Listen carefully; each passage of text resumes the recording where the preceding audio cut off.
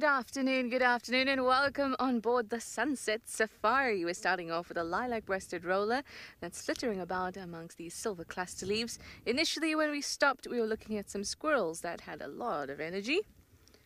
Much like myself this afternoon. Hi everyone, it's me, Trishala. I've got a paw on camera, and it's nice and warm, but it is very, very windy and that means it's going to be a little more difficult to find animals, but that's okay. We're still going to give it a great go.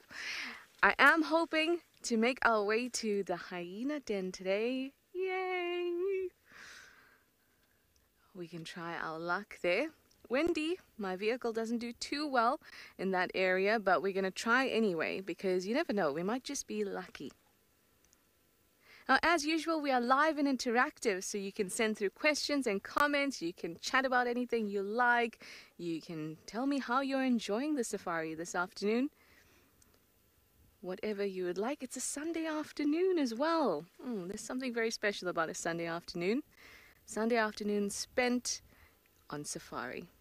Now, to send us questions and comments, you can head over to our website, wildearth.tv, and you can register and then we can hear from you.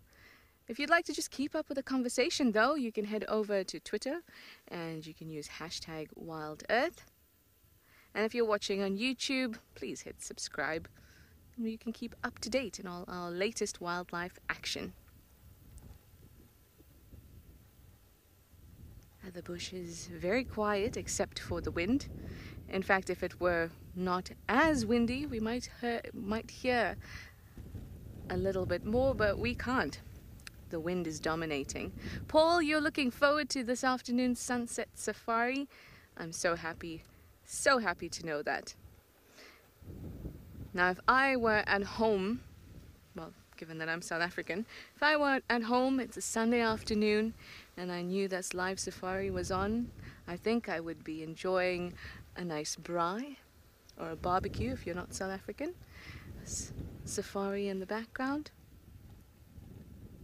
That's how I would enjoy it. Got a whole lot of silver cluster leaves here. Maybe squirrels bouncing about, but they're too quick for us today. Our lilac-breasted roller has left us too, and so we're going to keep on moving. I'm going to head, like I said, towards the hyena den that's in the south, but we can only really enter that area at about in about an hour. So we're going to move around in the south. We're going to look at little things. This is the best time to do it because it's the heat of the day, and the heat of the day is when insects are really active, birds are really active, so we can take a closer look at those smaller things. Get a nice starting pace also going to go past the sausage tree down in the dip not too far from here. I'll have a look if there are any birds there. This morning during the sunrise safari, Tess went and had a look there and she saw some quite a bit of action. Lots of birds around the tree. Speaking of Tess, she and Gert are out as well on Djuma. I think they're going to head north while I head south.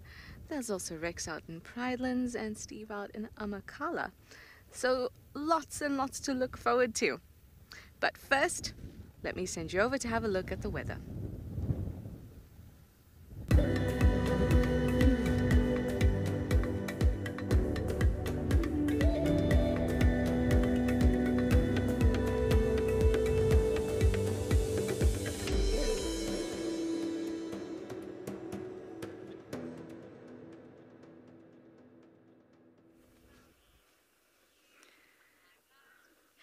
Well, good afternoon, everybody. Nice and windy afternoon, not so great for the animals perhaps, but at least for us, it is keeping us cool and we've started our afternoon adventure looking at a very faint moon up in a very, very, very blue skyline. I'm loving the fact that there is not a cloud in the sky and we're hoping it's going to be a very successful afternoon.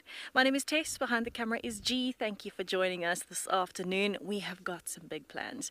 Now, not long ago, there was some alarm calling heard on the dam cam which is down in front of us through the thickets. So we're slowly making our way towards the big dam right in the middle of Djuma And we stopped to just appreciate the moon that had it spotted. It's so faded that I actually struggled to see it. And you can see the tops of the trees are blowing, blowing, blowing in that wind. Now it really is going to be a bit of a tough afternoon for finding animals, but I suppose in this greenery we can at least appreciate some of the smaller things as they're flitting past. Some butterflies flitting around, we're going to hope for some birds too, and we've just found a leopard track. So I think it's going to be a good, good, good, good afternoon. But my plan is to check the dam. If we can't find anything, it is always possible that in this wind the animals are feeling a little bit nervous. So there might be a false alarm. We can't hear any alarm calling where we are now, and we're not that far away. So we should be hearing it if it was still happening. But if that doesn't work out, we're going to head to the far northeastern side of the property and hope that we can find you something along there. I'd also really like to see some elephants, if I'm honest, but whatever comes, we shall take it. And speaking of, we're going to go and check the dam because we don't want to give too much of a lapse between the alarm calls and us getting there. Let's hope, fingers crossed, with this leopard track here, maybe there's a leopard that's come along.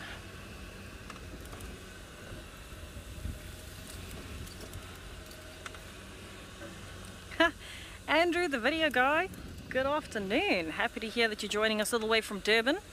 How's it looking over there? Maybe a little bit different to here. I could actually imagine as well. So that's in KwaZulu-Natal for those of you that don't know uh, where Durban is in South Africa. But I can imagine the Eastern Cape is looking a little different to here today as well. It is a lot colder down there and the Western Cape too. This wind is coming from there. It's coming from there. Oh, what an afternoon. We were just chatting about the weather actually. You know, when people say they start chatting about weather in conversation, probably not a good thing, but actually we were talking about it in a way with substance. I really like this weather. It's hot because of the wind. The wind has got a bit of a chill to it. So it's keeping us cool enough that we're not feeling like we would overheat by sitting out in the sun a big difference to yesterday where all the animals and us were feeling very hot in the sun. We were actively looking for shade just like all the animals would be.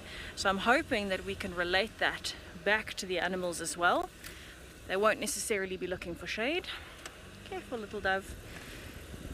They might be happy to be out in the open and you'll probably find they want to be either hiding in a thicket to be completely blocked from the wind very nervously or out in the open hoping that they can see predators coming from that clearing because of the wind. So I suppose we'll see how it changes animal to animal. Oh, have we got a lunchtime feast happening? so we are just arriving at the dam. I'm seeing that there are some red-billed hornbills down here looking for lunch. So we're going to see if they're going to stick around. But we'll send you over to Rexon to say hello.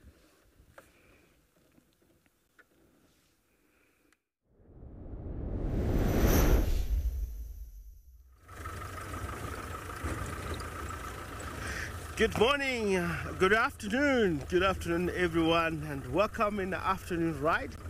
It is windy here at Pridelands Eco Training Safari Live. We are starting our show headed more to the north of the Conservancy and try if there's anything here. From myself, Rexon, uh, BK behind the camera, and this afternoon we're joined by Morris, which is the best tracker here at Pridelands. We join forces, all of us being three in order to attract anything that uh, we are wishing to see here. It's been a long time.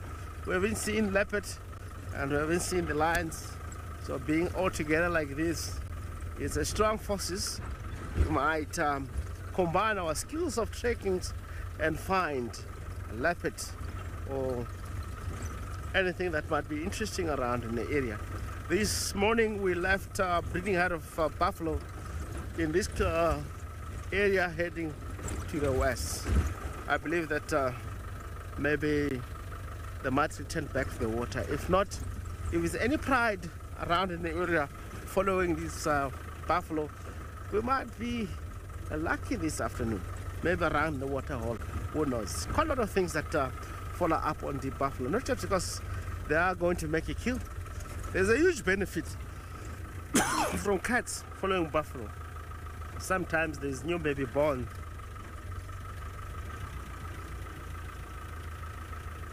Of course, while we are checking around in the area, anything that will be benefiting from the buffalo, I would like to send you to Steve and join him this afternoon and see what's up to.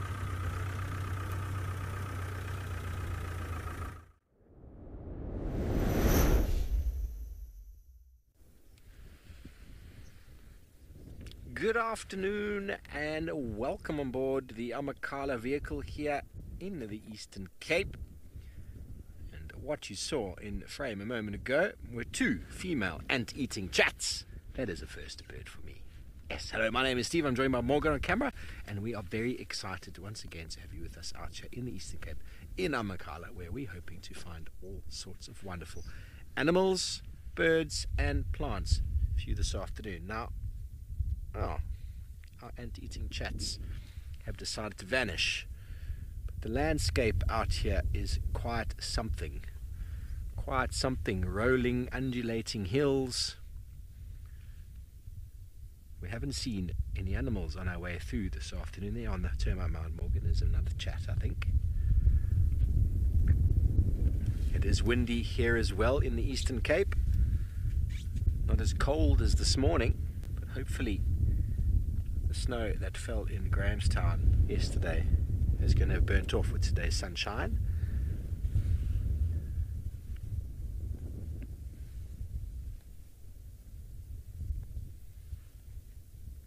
Lovely to see. So it's a new bird for me for my list.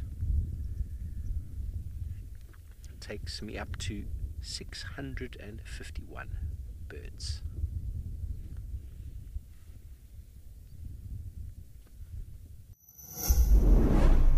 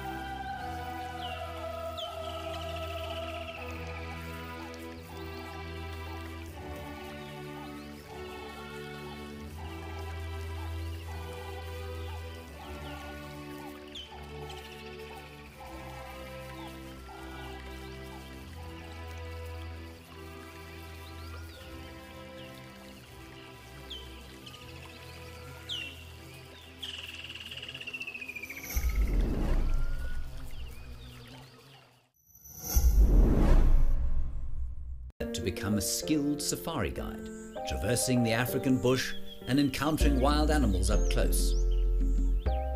Whether you're a retiree, a recent graduate, or a professional seeking a change, the 55-day eco-training program is for you.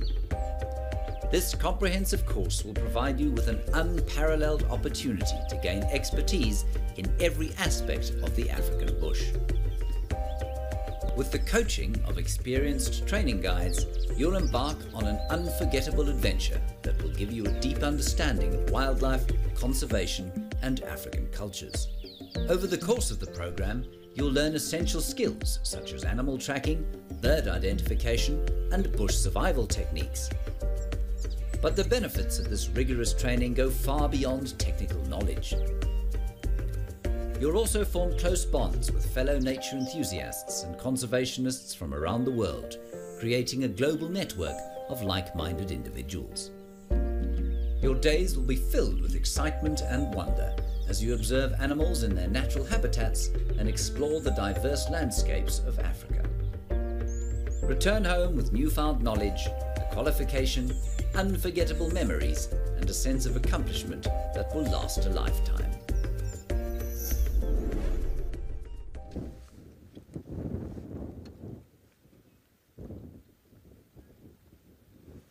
We have come down to Treehouse Dam. And how lovely, we've got some kudu coming down to have a drink. This is quite nice because we don't often see them at a waterhole, or at least not drinking at a waterhole.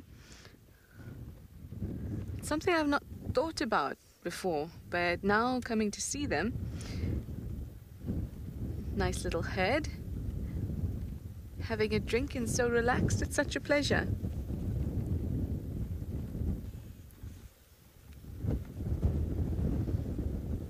These are just some females. No little ones, although there may be some some adults there, but I don't see any little ones. Oh no, what spooked you? Shame. In this kind of condition, with the wind, really, it's picked up a lot. It's it's pretty much howling. It's quite uncomfortable, even for us. And so for them, any little just the possibility of something's gonna gonna spook them because they rather react than not. That wind is adding that extra layer of uncertainty.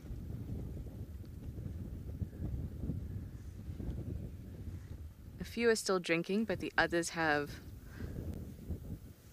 have gone over to the dam wall and are having a look, just making sure that everything is okay. Oh, just as I was saying that it's nice to see them relaxed.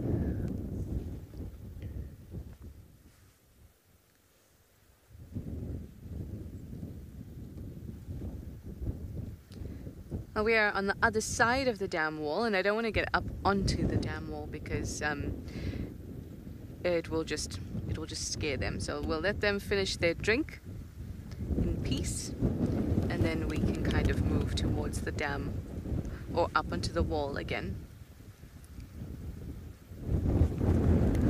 I'm also think I'm excuse me I, I also think I'm going to investigate the other side since they are looking over that way and I'm going to send you over to Tess in the meantime.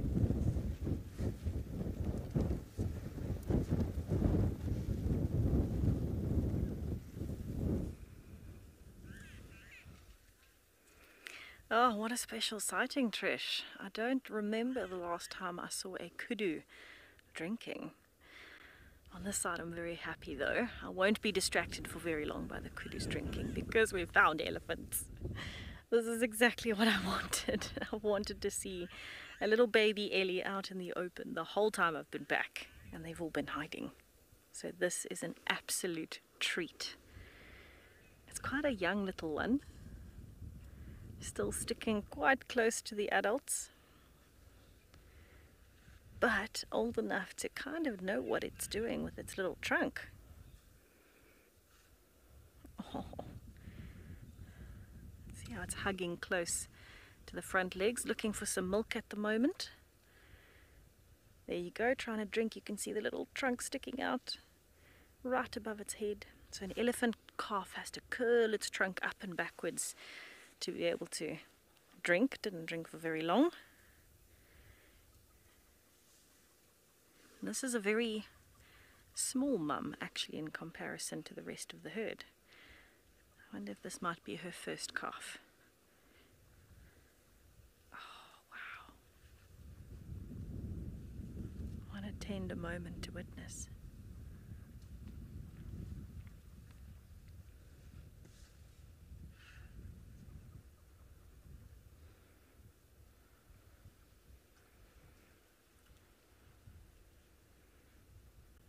it still wants some more. So milk is vital for elephant calves. It's a big world out here. There's a lot to take in and it's quite hot. So always good to have some milk to keep you going. Stacy, I'm so happy. Elephants on Sunset Safari. Up close and personal, a little one getting its fix for the day of mom's milk. Absolutely gorgeous moment. and another one pushing through the guarries. Oh, this is just amazing.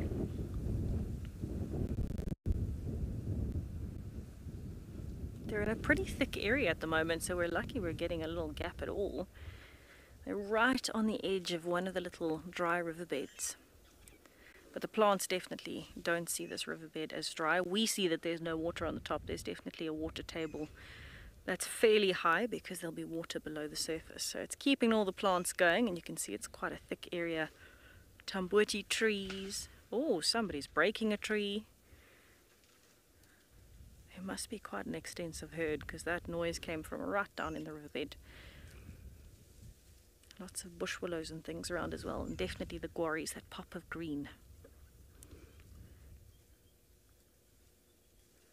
Oh, trying the other side now. My goodness, this is a thirsty cough. My mammary glands don't actually look that big, so I don't know, don't know how much milk this female is producing. It could be because the calf is getting a bit older, so it might be getting closer to that time where she starts producing less milk because the calf will by this age be drinking water and feeding perfectly fine on its own. Getting used to that trunk.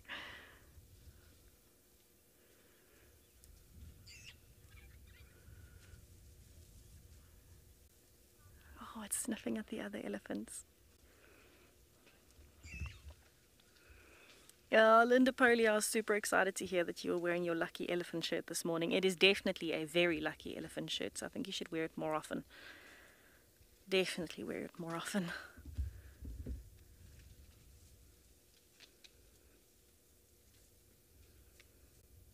Little one doesn't really know what it wants. It's sniffing at the guarri tree. Maybe because the other elephants are showing interest in that area, maybe it's extending its trunk to try and figure out what exactly they're showing interest in there. Is it the grass? Is it the base? I doubt it's the guarri itself, so maybe it's just trying to figure out what exactly they are doing. It's the best way for a little one to learn, learn from the older ones. You might also find, though, it might be gathering some important information on each of those two youngish elephants that are with it such a powerful sense of smell to pick up on what might be happening in every other elephant around you. Oh, what are you doing, little one?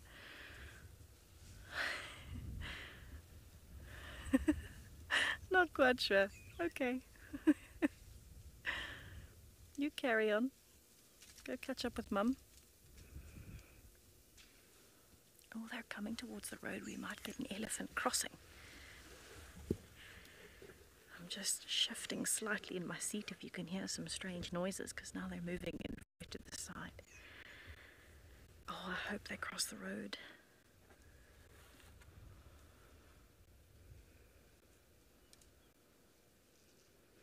You'll probably find that it was nice and cool in that little riverbed during the heat of the day. Now that it's getting to mid-afternoon, they might be braver in terms of taking on the heat. Freddie, yes, it is unfortunately possible for elephant moms to run out of milk before the time of weaning. This usually only happens though if there is a serious problem, something like a severe drought where the mom hasn't been able to have any water at all. That would mean that she can't really produce milk like she should. It can also happen though if the mom is very ill. So her energy in her body is diverted to fighting with her immune system as opposed to as opposed to um, taking that energy to the mammary glands to create milk.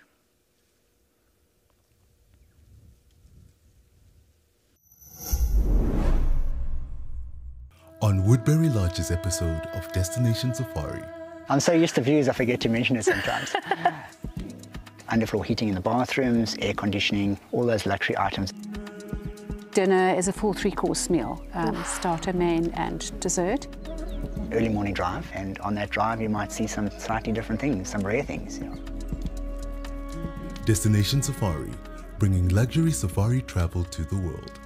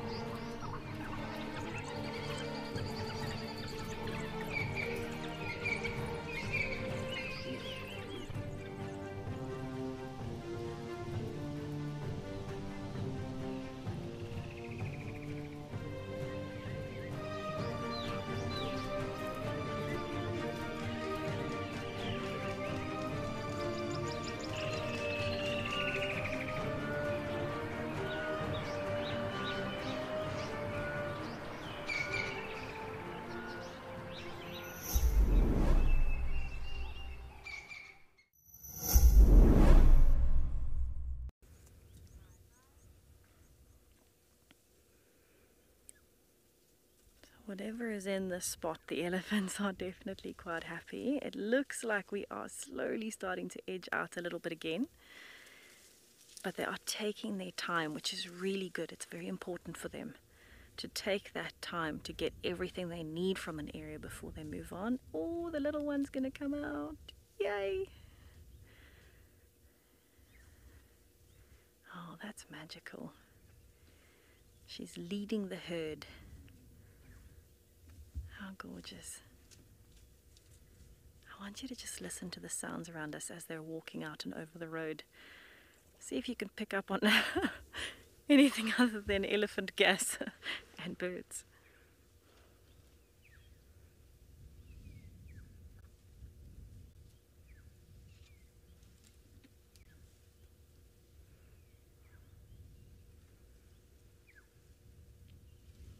It's amazingly quiet, isn't it? Just the odd feeding sound. Yes, little one, are you so brave? You are walking out on the road on your own. Very impressive, but run to mum quickly. that made my day.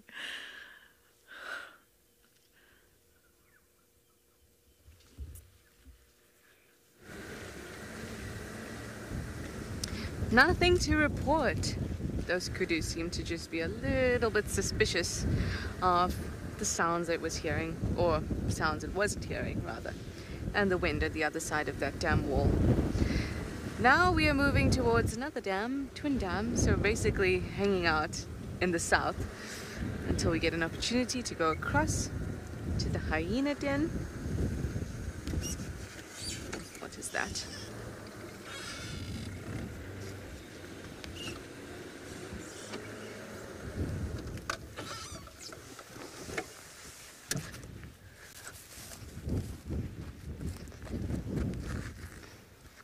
Lovely. It's just bits and pieces, the edges of doors, things like that. As you can imagine, cars take quite a beating out here. So if we see stuff like that, we pick them up. Not that anyone's going to be able to reattach it, but we definitely don't want any animal to be eating rubber. So we make sure we pick all those things up if we find it. And then we get a beautiful collection in our car because we forget to take it out of the car.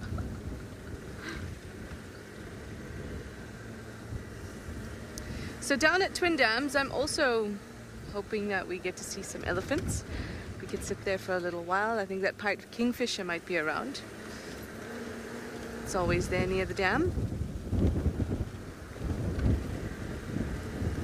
Yesterday I saw a vervet monkey hanging around there as well. So we'll just have to see. Gosh, this wind is very uncomfortable. I imagine if I'm feeling uncomfortable and I don't have to think about potentially being prey out here, I don't have to think about threats. Can you imagine how uncomfortable the animals must be, like those kudu?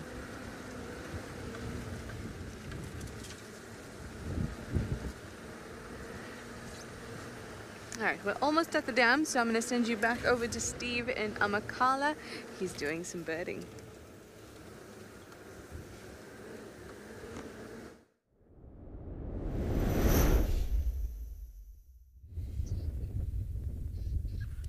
Well, welcome back to Amakhala, everybody, and a large bird I haven't put on camera before. Well, there's a couple of them anyway. See them moving through the open area, one on the right, one on the left, with some antelope in the far distance. These are two large bustards, and from this distance, you can kind of see they've got black on the forehead. It's not very easy to see from here, a little bit far off. You can see the black, and there's sort of little black flecks on the wing, very brown back. I do believe it to be the Denham's Bustard. The distribution map confirms.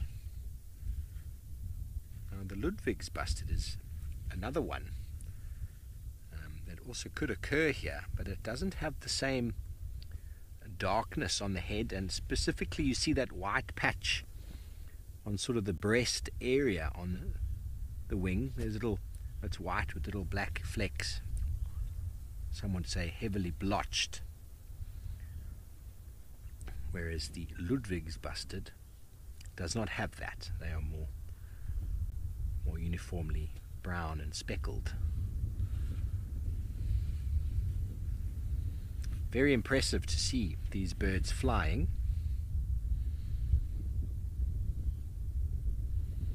Males getting up to an average weight of about eight or nine kilograms.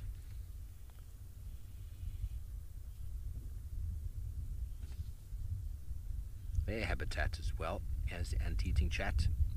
It's open areas, grassland, shrublands. We'll also find them in the fynbos as well as cultivated fields where they are foraging for insects, small vertebrates such as frogs and lizards, and they'll also feed on some vegetable matter.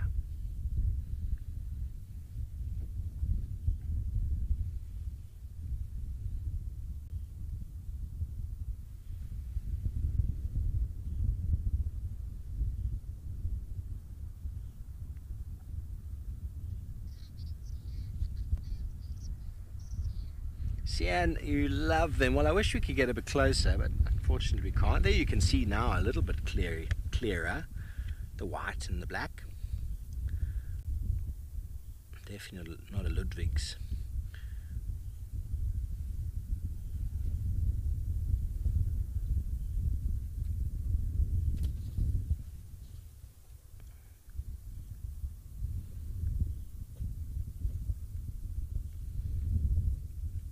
Conserving a lot of energy by walking along the ground to feed. When they do fly, it does appear to be very cumbersome.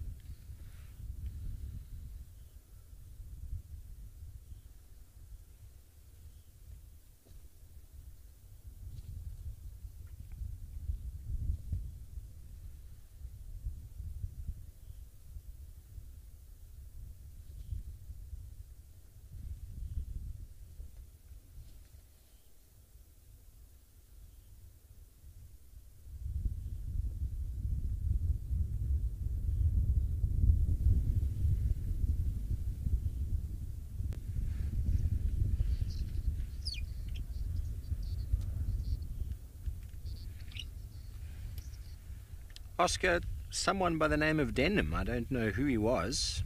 I can try and find out who Mr. Denham was. Otis Otis Denhami was the first first name in 1826.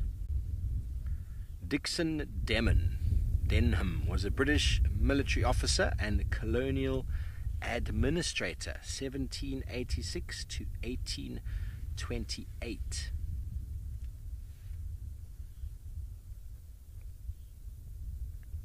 Lieutenant Colonel Dixon Denham. You can often find it in the scientific name. This is called Neotis denhami. Often, when you find a very strange species name, it's often got to do with the person who discovered them or found them or identified it.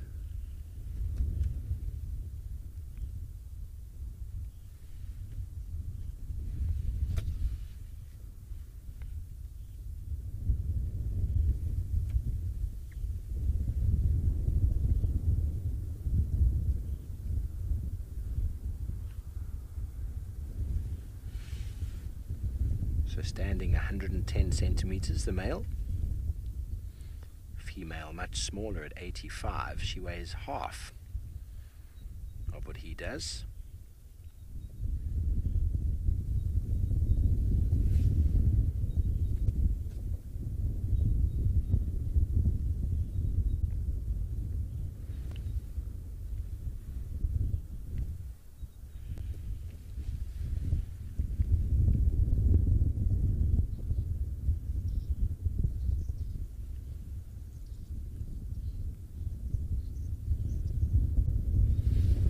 Hello, Steve in the UK. I'm glad you're enjoying these views. It's such an uncommon name, isn't it, Steve? Never met anyone by the name of Steve before. nice to meet more Steves. Can hear an ant eating chat calling. Some lovely grassland species would be found through here of wild flowers. It'll take me some time to wrap my head around.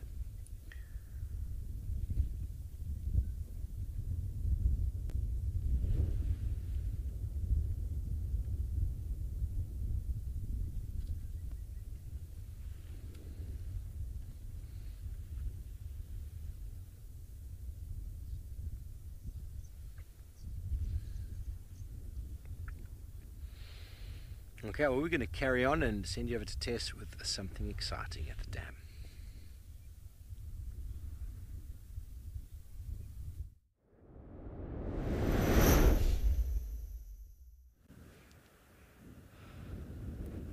Something so exciting at the dam. We're in the far northeastern side of Djuma and we've got two young lions. It looks like two young males.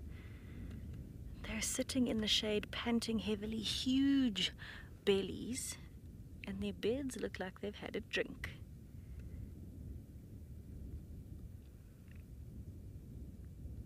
I don't know who they are. I think we're going to have to get closer before we try and even figure that out because it's really tough to tell. But they've chosen the only little spot of shade very wisely at a dam called Buffelshoek Dam. Look at the expanse of that. Impressive, isn't it?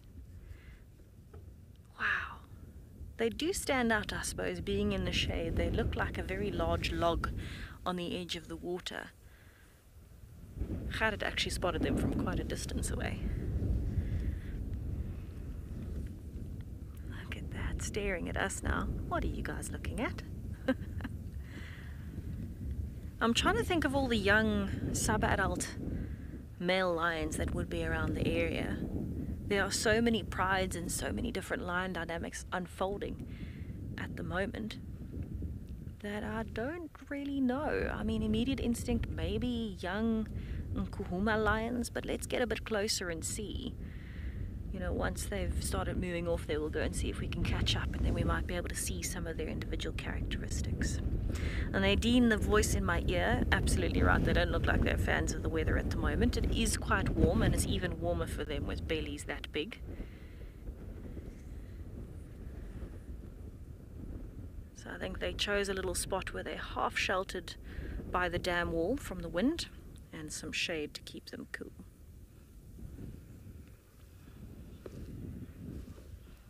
Michelle, you're most welcome. I'm so excited. We're going to move closer. This was kind of the first spot and the first view. Well, actually, had spotted them from back there, but this is the first spot where we could actually show you. So, let's move forward and see if we can see them in some sunlight. Hopefully, see some characteristics on the face. What I mean when I say looking for characteristics, the different lions obviously go through a lot in their lives, and through all of those adventures, they get scars on their faces. Some of them have very distinctive shapes to their faces, their eyes, their noses. There might be a whole wealth of things, maybe a chipped tooth, little pieces of tattered ear, anything like that could help us distinguish between individual lions, and we know that they might belong to a particular pride. So if we can identify the lions, we can identify the pride that they come from. Ooh, we are moving, and there's a big, big, big lioness too. Who are you? Hello size wise, I mean, I haven't seen the Nkuhuma pride in so long. That's the pride that also used to be on Djuma quite a lot. Now they've moved further east. Quite a long history in the northern Sabi sands of that pride. But the last time I saw those youngsters was a long time ago, so they were a lot smaller. So I actually don't know. That's the lioness you can see walking. There's the sub-adult male behind her, taking a break. And they've definitely had something to eat.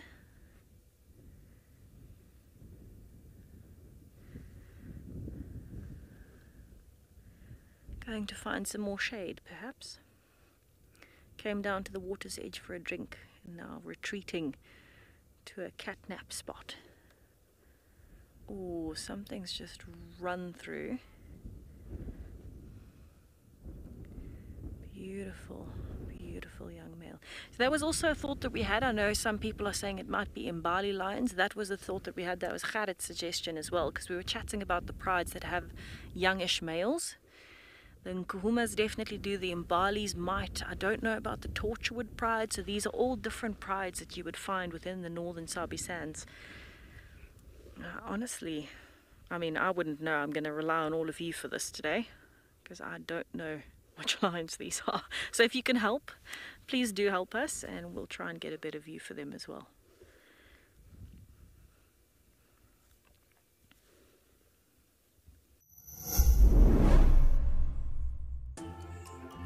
Not everyone gets excited to hear a leopard chuff, spot a pangolin, or see a real impala rut. But if you are wild about the wild, you can become part of a community of like-minded nature lovers and share authentic wildlife experiences with the world. Join the Explorers Club and you will also enjoy the many benefits that come with it too. Wild with Explorers, it's in your nature.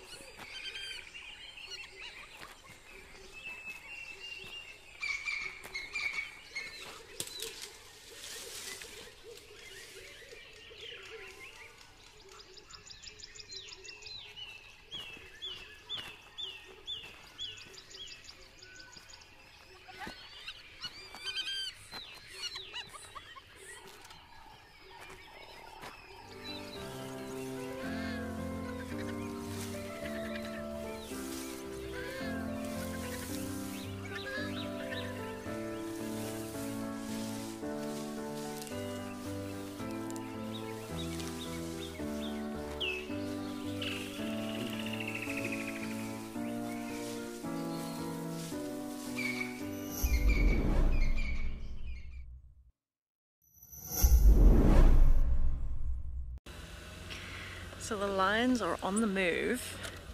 I just, I want you to have a look at this young male at the back. Watch how he's walking.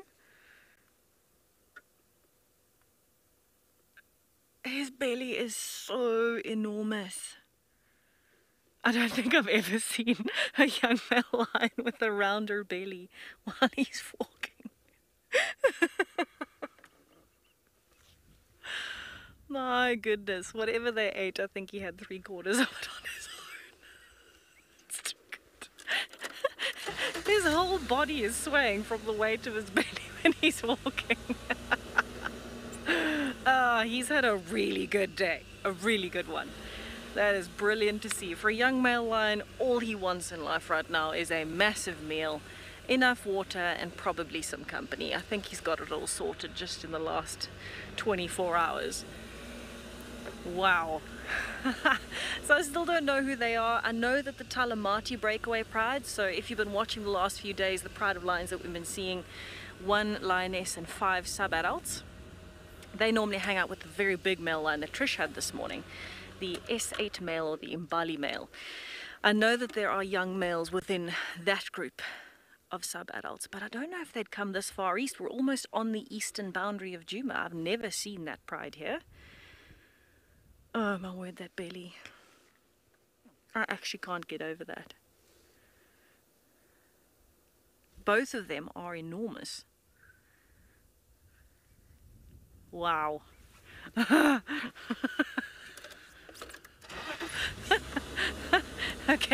back to IDing. So I don't know who they are yet. We haven't really had a chance to look at their faces, which makes it a little bit challenging. At least if you can look at the face, that's usually where they get a lot of distinctive scars because of the whale's feed. They don't have very good table manners. So getting bellies that big means you have to fight for your food even with your family.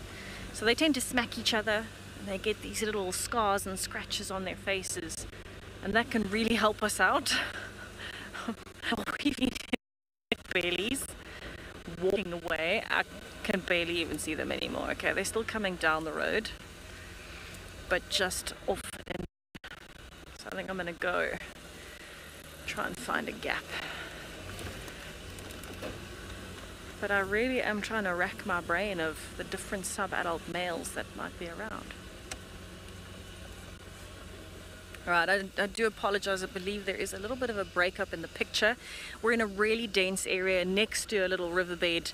Things get a little crazy in here sometimes, a signal, so it can be a bit challenging. I don't think we're going to find... Oh, actually, we might find a gap there. That's not a bad plan. So, yes, I am sorry if there's a bit of a breakup in the picture. I can't see them anymore. Annalie, they have had a brilliant Sunday lunch. The other day I thought I saw full lines. These are fuller. They've done a spectacular job. I wonder if they're in the shade there. I'm going to try and go through here actually. Now it is fairly long grass so I'm going to take it slow because we definitely don't want to drive into a log or anything Let's take it slow. There's somewhere in here on the left. You can see how dense it is in front of us. So we definitely want to be careful of going over something we shouldn't. Oh, it's nice and cool in the shade. I'm pretty sure that's what they're looking for. With bellies that big, I can't imagine these lions want to move far at all. I think they've probably already found a patch of shade somewhere here. I'm going to try through here and see. Have you seen them walk through here yet, Khat? Okay, know, somewhere in the shade of maybe that big guarri tree. Hello, guarri. Are you looking for a cuddle?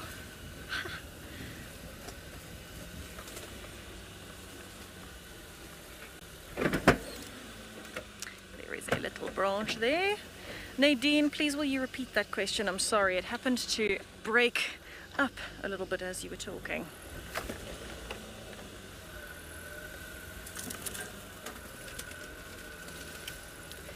Right, I don't know what this is going to be like in the grass. There we go.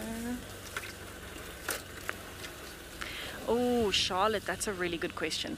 Yes, 100% having a belly. Okay, thank you. Um, having a belly that big can 100% hinder these lions if they do become in danger. Also, don't worry, this bush willow that I'm going under is between the toes, so it's going to pop back up. I won't go over something that won't pop back up. Um, yes, it will slow them down immensely. Obviously, their natural instinct is going to kick in, right? So they're going to be trying to put on some speed. They're going to move away if they need to. They'll fight if they need to, but they will be slower, and you'll probably find their reflexes will be a bit slower as well, just because it kind of takes it out of them. When you've got that much food in your belly, it kind of drains some of your energy. It's really hard to digest red meat, and so that's probably gonna slow them down. This is the last place we saw them, was just behind this very big green bush, which is called a guarri. If they're lying in there, I'm wildly impressed because we cannot see even a smidge of them. I'm just looking for movement at this point, so I can't go further forwards here because there's a log in front of me which I'm definitely not going to try and take out. It's right there in front of us. There you can see it sticking out of the grass. I'm definitely not going to try and drive over that. But I don't see them in this patch of shade. So they might have given us the slip. Or their bellies are so big that they climbed into a thicket, fell over, and they just can't get back up. so we can't even try and see them. But we're going to try our best to find them again for you. Hopefully we can also try and figure out who they are. We'll send you over to Trishala in the meantime to see what she is up to.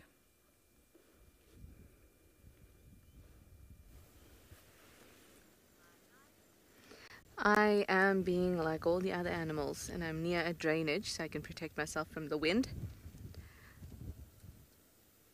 And then we came across some banded mongoose but uh, they were they were very very quick. But then they all started to like follow each other down there, and it looked like they were going on a hike, like they were just a group of scouts. It was very cute. But very often with mongoose, you don't know how big the group is. So if you just park off and wait a couple minutes, maybe more will emerge. They become very, very curious. They are extremely curious animals. So maybe we'll see a little dark head popping out, looking right at us. That would be very nice. Anyway, that's what I'm that's what I'm hoping for as we're sitting here. But we have been sitting here for the past few minutes, and nothing so far. But hey, I've got patience pants. I do.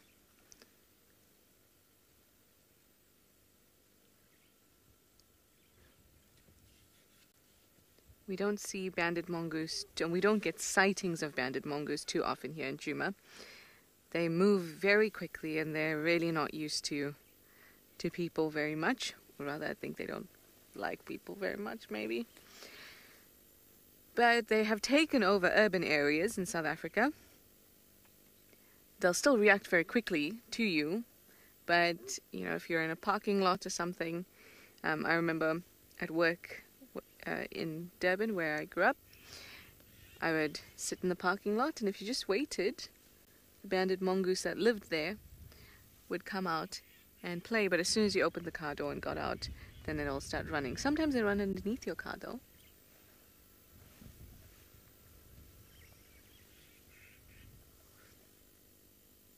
They're really nice and big. Much bigger than our usual variety, the dwarf mongoose dwarf mongoose are about 200 to 350 grams. And these big ones, the banded mongoose, can be up to like a kg. Maybe, yeah, a kg and a half even. So nice and big. But clearly not showing themselves for us today. This was actually round two of seeing them. Round one was when we go, went through the dip on the other side, could very well be the same group. But it seems like um, they have left us. That's okay. We can keep on going. We did a little bit of a loop.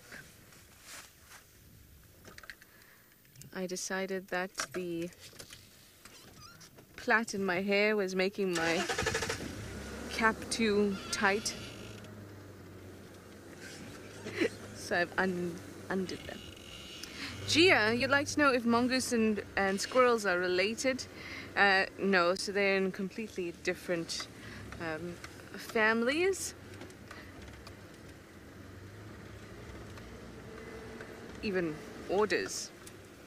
So, different families, not even a thing because they're in different orders. So, squirrels are rodents, they're in the order Rodentia, and mongoose are carnivores, so they're in the order Carnivora. So, squirrels are more closely related to other rodents like um, love how my brain went straight to rats, but I mean, it's the one we all know rats, mice, bats, and mongoose are related to other mongoose, obviously, and meerkats. So we saw them down here as well. Let's see.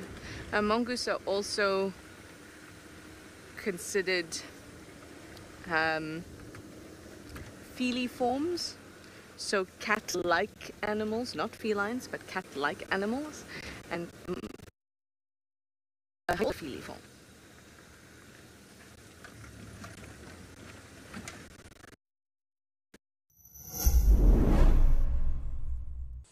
Get ready for your daily dose of African wildlife magic. Be enchanted by the intimate moments shared by the animals as they drink, play, and interact in their natural habitat. With our daily wildlife videos, you'll experience the thrill of safari adventures without ever having to leave your seat. Let the wild adventure unfold right before your eyes.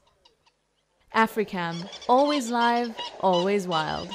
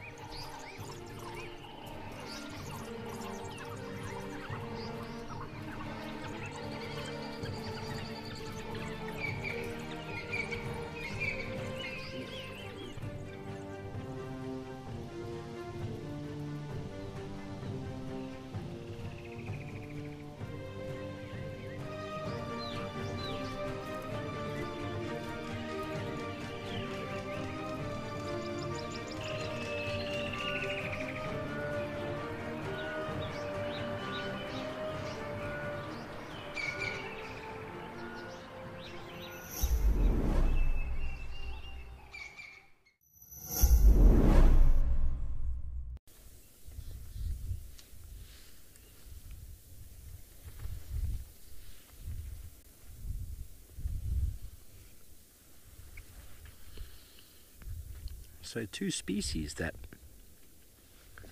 male and female will both have horns. It's the only, the eland is the only Tragelaphus species whereby the male and female both have horns. Now they've evolved from a very similar place. But considering that eland are grazers and more open area specialists. It's a benefit for the females to have horns as they use them as a form of predator defense, especially not just for themselves but to defend their youngsters against lions.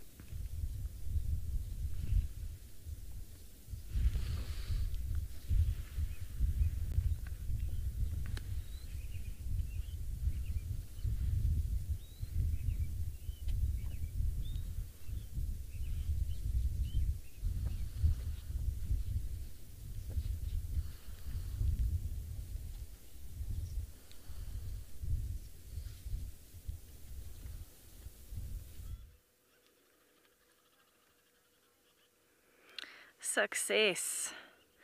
Gerrit's eyes are just too good. They are hiding in the shade, in the bush off the road. And I think they're honestly just too exhausted to move any further. It's so hot. Their bellies are ridiculously large. And they found a spot where they can just follow the shade for a bit. Now, we're still not quite sure who they are. I am a little bit more certain now of who it might be, but I would like your confirmation, and I'm basing it purely on this young male that is facing us. So you can see his face really nice. He's got a couple of scars just on his nose going up to his eyes, so quite distinctive spots there. And that, oh, moving his face, that combined with the fact that when he opened his mouth just now to keep panting, he had a chipped bottom right canine, makes me feel like this might be one of the young males from the Talamati Breakaway Pride.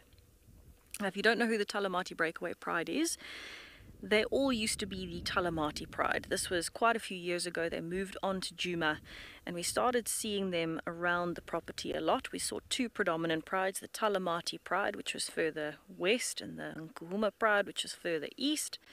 And they've actually taken turns being the dominant pride holding territory over Djuma. And then three of the lionesses broke away from that Talamati pride and became the Talamati breakaway pride. Uh, those three lionesses moved off and mated with that very big male lion that Trishala had on the show this morning.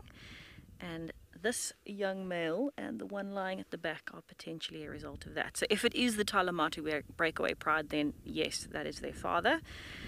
However, if it's not them, then I'm really, I, I don't know who it is. but I think it's part of the Talamati Breakaway Pride. Now, they actually don't spend as much time on Djuma, or they didn't until recently. Excuse my coughing. So, when they moved away from the Pride, they moved further north into the property north of Djuma. And that's where they spent most of their time. But now the main prides, the Talamati pride and the Nkuhuma pride, don't spend as much time on Djuma. The Nkuhuma pride more than the Talamati pride. And now the Talamati breakaway pride, which is potentially some of these ones, they have been moving further and further. And if this is them, also again, please let me know if you can help out and confirm that it might be them they have been moving really far, and this will be the furthest east I've ever seen them. It didn't immediately dawn on us as an option because they don't normally come this far east. But that being said, I suppose, I'm trying to think. Didn't you and I have them when they were much smaller on a termite mound off of Cheetah Cut line? We did, so we actually had them on the eastern boundary. I take it back, this is not the furthest east they've been. My bad my fault there. My brain decided not to remember that one until right now. so we have seen them further east than this. But it is interesting to see them this far east regardless because coming this far east they've got probably more of a chance of running into other prides of lions. In this particular part, the lion prides that might come in there's probably four or five different prides of lions or at least Actually, that's without males. If we had to count males as well, it would be probably closer to 10 different potential interactions with other lions in this area. Far northeastern corner of Djuma.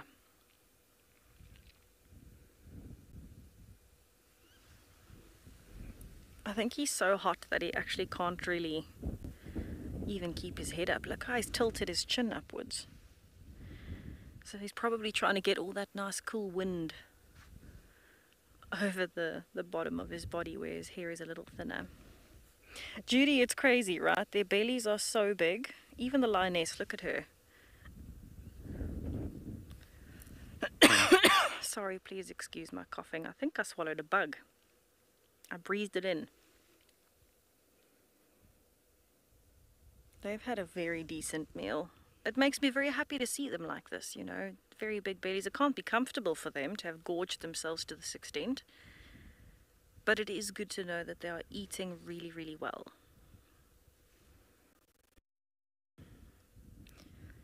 Michelle S., thank you very, very much. You are agreeing with me and saying you think the Talamati breakaways, or at least three of them. So that makes me feel better. That makes me feel a lot better that we might then Well, I might not have such a terrible brain. okay, so two of the five sub-adults here then. So the one lioness, she is the remaining lioness of the Talamati Breakaway Pride. The two other lionesses, unfortunately, did not make it. And so she is in charge of teaching five sub-adult lions how to hunt and keeping them all safe and fed. She's clearly done a good job with these two. Does make me wonder where the others are, but you probably find these three have come to the water without the others. Maybe because they ate more than them, so they need the water more than the other three sub-adults. It also makes sense as to why that big male has moved from this morning. So when Trishala left him this morning, by the time another person got there, he had moved. They couldn't find him, and we found his tracks on the boundary coming in this direction. I wonder if he's come to investigate what they might have killed, come to find the pride. Maybe he'll pop up in this area a little bit later when it's cooler.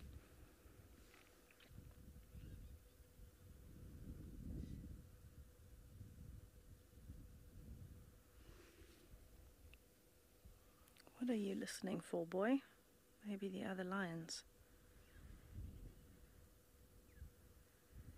So within this group, it's this big lioness. There are three sub-adult males and two sub-adult females, as far as I remember. So we're missing one sub-adult male, and it's probably the one with the limp. We discovered that he had a limp about two, three days ago. Three days ago.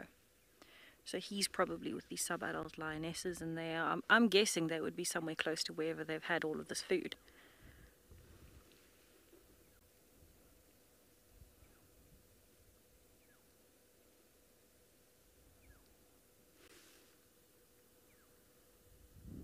This young male closest to us is actually, it almost looks like he's struggling to breathe. He's eaten so much. So he's trying to pant excessively just to try and keep himself cool while he's working through that red meat.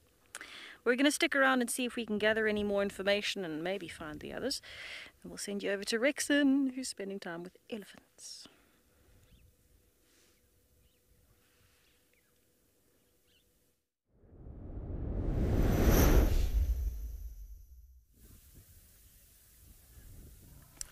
Great, lovely. Thank you so much. Um, we are joined on Ndlovu Dam. This is the paradise of uh, elephants. Elephant likes this area due to the water, uh, quality of water, and of course you can see what elephant love the most. It's a mud, mud bathing, which is more important. Time and again, these elephants feel more comfortable to be in the area because it's a huge benefit also from the mud. Mud, it might be mud will be carried on the body system in order to really create another layer. If they move out in the area they cannot get easily a heat. And of course you tend to see elephant have ticks that parasite in the body of an elephant. That is more important to suffocate all these ticks because sometimes ticks might cause diseases. And elephant know that. Look how young that uh, little elephant walking there. It's caked in mud. That uh, it does have huge benefit. Moving around in the area quite a lot, uh, I mean, getting more ticks around. We are around the camp here at Eco Training Safari Life. You see these uh, elephant that are really facing the other side of the camp due to the western part. I mean, it's such amazing. These elephants here, they tend to be really feel more comfortable to be moving in and out in human habitat very easily. We tend to see them loving the area. Due to the water, of course, and a big canopy of trees along this drainage line feeding Ndlovu um, dam itself that's raising the elephant. They need benefits of huge trees and also water, as I said,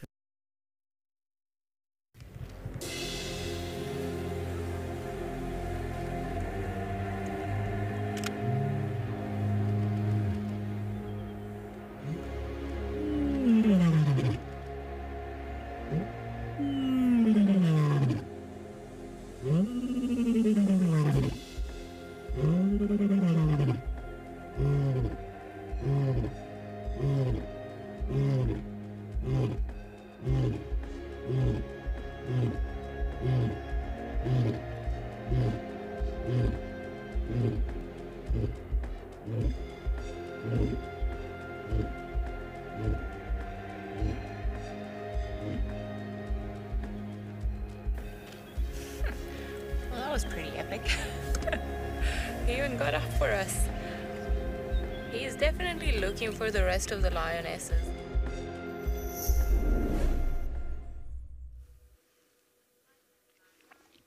Apologies, everyone. It seems we may have lost Rex, and it is definitely a challenge being out in the middle of the bush. Trying to find good signal isn't always the easiest, but it's a challenge we'll gladly take if it means we get to be out here and share the magic. Hopefully, we find him again soon, or find some signal soon at least, so that he can continue showing you all of the beautiful things from Pridelands. On this side, not much has changed. I think the lines are actually so hot that they don't really even want to move much. I think the idea here is to sleep for as long as possible and just reposition every now and then when it's necessary. But other than that, very minimal movement. Just ear flicking and the occasional tail movement. And a lot of heavy panting. We're having a conversation at the moment about where we think the others might be. in my mind, I don't think that the lions are in that little riverbed that runs down from the dam because if that was the case, the rest of the pride, if they were there, I feel like these ones would have gone straight down from the dam wall into the river itself, into that riverbed. And they didn't. They were in quite a straight line. Maybe coming to the shade, but I doubt it. I think this is just a stop off along the way. I think maybe the, the rest of the pride might be a little bit further if we carried on straight from where these lines are, a little further down the road. And hopefully the big male might be around with them. But for now, I suppose we won't know unless we actually manage to find them. So fingers crossed, maybe a bit later we'll figure out where they are.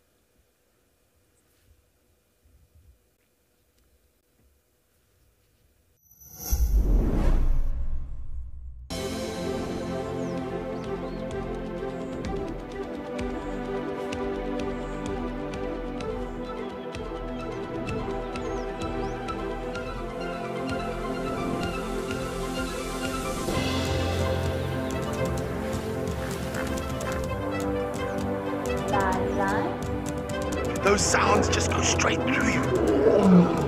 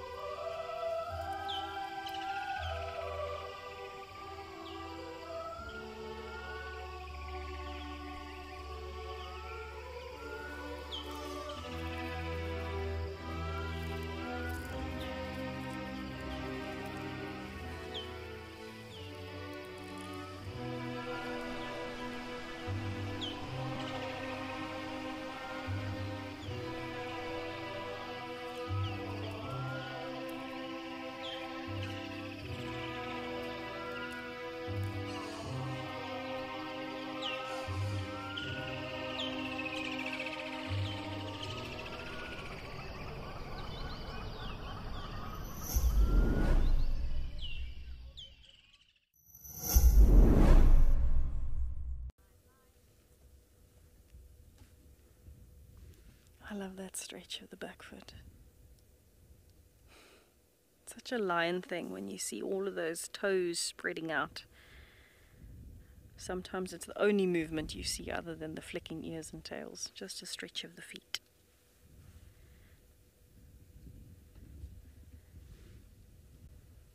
The young males literally haven't moved. At least the lioness has changed sides a couple of times now. I do think what we are going to do is maybe head around to the other side, see if we can have a nice look at the other young male's face. And then from there, try and put the puzzle pieces together, figure out where the other lions are, look around the area for some tracks. Maybe there'll be hyenas or vultures that might lead us in the right direction too. But either way, it is a little strange. I feel very weird seeing just the two young males with her and not the rest of the sub-adults. It feels like it's not complete. So I would like to find the others if we possibly can. It is going to be a bit of a challenge either way, so we might not find them. There's a decent possibility we won't, because it is such a thick area with so many riverbeds that we might not be able to access.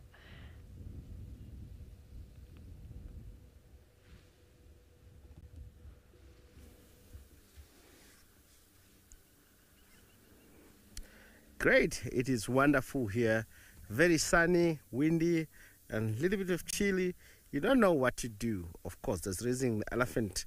You can see that uh, pretty much they are playing. Some of them they don't even get inside the water. They just put their feet in because the weather itself is really changing quite a lot in the area.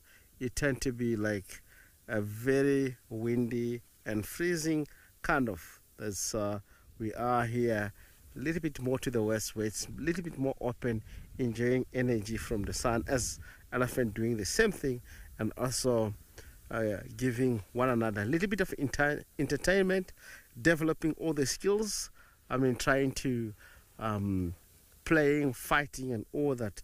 Try to keep the company of everybody more important within the structure of the breeding herd of each female. It's unbelievable you tend to see that everyone is happy with one another.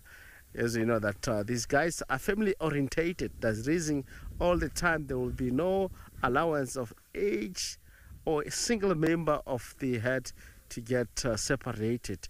It's something that uh, it will might cause a very a big impact on this whole uh, society or whole head of the elephant itself as a family orientated. So it has to be keeping individual happy, keep information of everyone around, across the uh, area if they all are related once they're moving in, in the same area. That's raising scent mark vocalization is more important. Also keep the social bond together and also keep the company of family orientated all the time and able to stick with one another. Unbelievable animal. Look at that. The young male is really scratching itself against the tree and they're playing all these um, skills of fighting. Only the adult elephant, you won't see them playing this kind of a fight. The adult elephant are all the time, they're very serious um, elephant. They don't even play. They move, graze, move around in the area and make sure that uh, they move in the area where they can benefit from females and also from viability of uh, grass, twigs, and water. Young males all the time, you tend to see them doing this play fight. I've seen two male elephant fighting, serious fighting. I don't want to come across with it again. They destroy quite a lot in environment, trees and everything. Mm, trumpeting, heck, serious fighting. And it's very scary to see that. Wow, look at this female coming deeply in water. We'll see how it's going to work.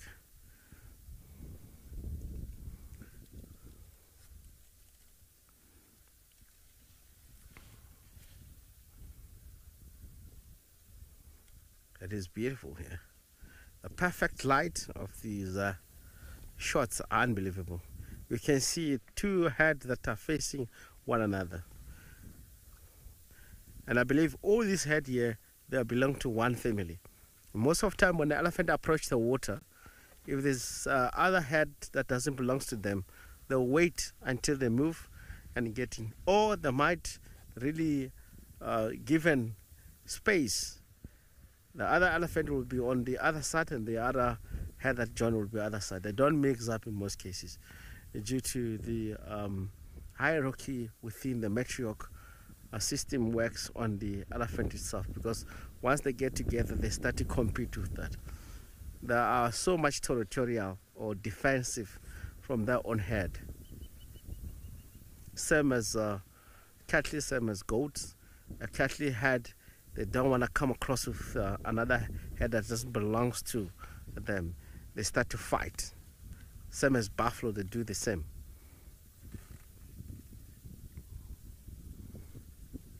I'm really loving this. Uh, it's unbelievable here. Beautiful.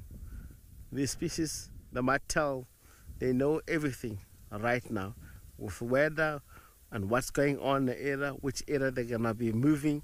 They all have that, all the plans of a day. if it's going to be uh, cold at night, they choose a certain area to go in.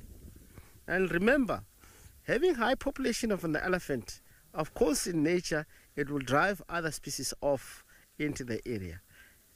The reason why I'm saying this, look at how the activities of an elephant in the area, they are really doing quite a lot on the acacia trees and debarking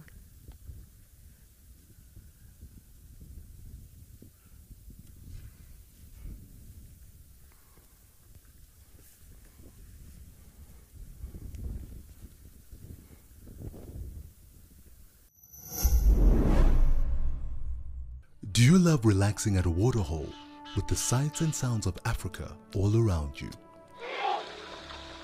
Well, we have some really exciting news for you. From August 1st, Africam is joining forces with Wild Earth to bring the majesty of Africa right into your living room with nine incredible new waterhole cameras from across South Africa and Kenya. Get ready to embark on a new journey. This is Live at the Waterhole.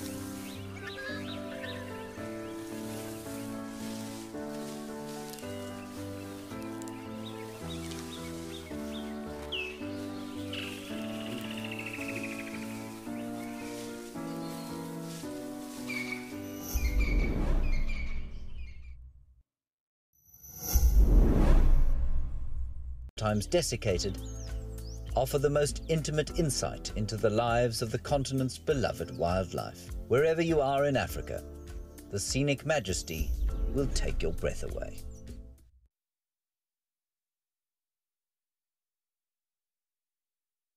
Again, hopefully things clear up in the bush there sometime soon. But on this side, come to the lion search. We have left the three very, very, very lazy lions that are, that are far too full to move any further in this heat. Can't blame them. But now we're down in the riverbed because while we were sitting with them, we heard birds alarm calling like crazy. It sounded like francolins, crested francolins to be precise. And they were absolutely panicking. We heard it once, We thought, okay, maybe they're there. Then we heard it again, even louder, and we thought, yeah, they might be there. And now we've heard it a third time coming from the direction of that beautiful big jackalberry tree that you can see popping out of this riverbed. So they're not actually, that noise anyway, the alarm calling was not as close to the dam as, as you would think. But we're going to take a drive down this road just now. For now though, we're just trying to listen to try and narrow it down a bit.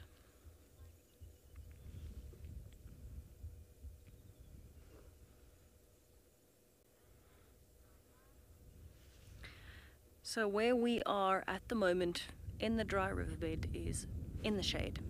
And I have to believe, I have to believe that the lions will want to be doing the same thing. Now we haven't heard any more alarm calling since we've been down here. We heard it once when we stopped and now it has stopped as well. So what we're doing is we're parked in the shade. I've had a walk up and down and we're listening. I've gone a little bit up the riverbed, a little bit down the riverbed, looking for tracks, listening for sounds, any signs, because I'm not just going to drive in if I don't know where the lions are. No point in off-roading if there's not a sighting. But now we're here, and I have to believe this is where the lions would want to be. Nice and relaxed, comfortable in the shade. And also soft bed. So the dam is far up to the right. We are actually going to be going down to the left because that's where we heard francolins alarm calling.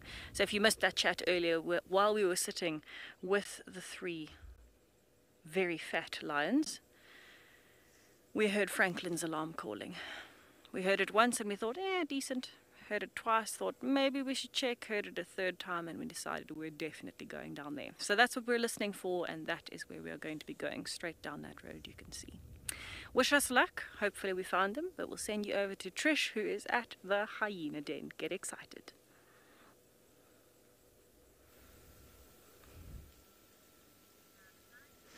Aren't we just the luckiest? But we're going to make this very quick because we just arrived here at the den on Little Gowrie. And this little one is out. It's June's little cub. But you know the deal. We're quite far away, but you know the deal. We don't hang around, uh, we don't stick around when there's no mum around. And I don't see June at all. So we can do a little bit of a loop here um, but also I told you Wendy, my vehicle doesn't do too well. So at least I got to show you little cubby because sorry for some picture breakup there if you were experiencing it. It's a quite a difficult spot for this vehicle. Um, but at least we got to see the cub. But now we need to leave because June is not around. So let's go. I will warn you, she might experience a little bit of breakup again.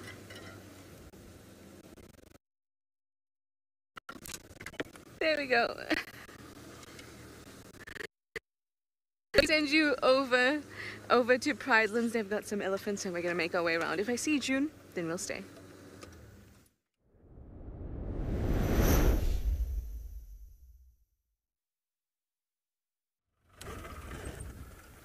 Great, thank you. We, we have one young elephant. It's having a little bit of uh, strange behavior, but it's uh, left.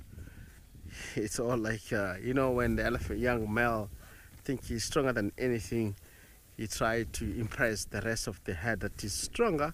He'd like to charge the vehicle. Oh, look at this, unbelievable.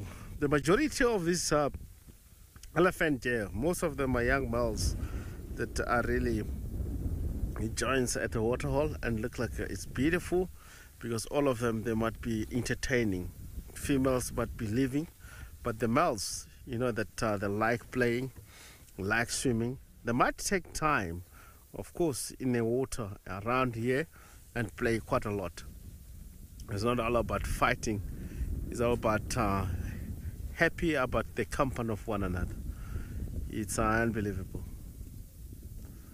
these guys they love swimming also. But you see how it's going to work. But especially if all elephants leave, the breeding head leaves, they might stay here and do the mating, practicing mating, practicing fighting all the time. It's, it's entertainment that they do.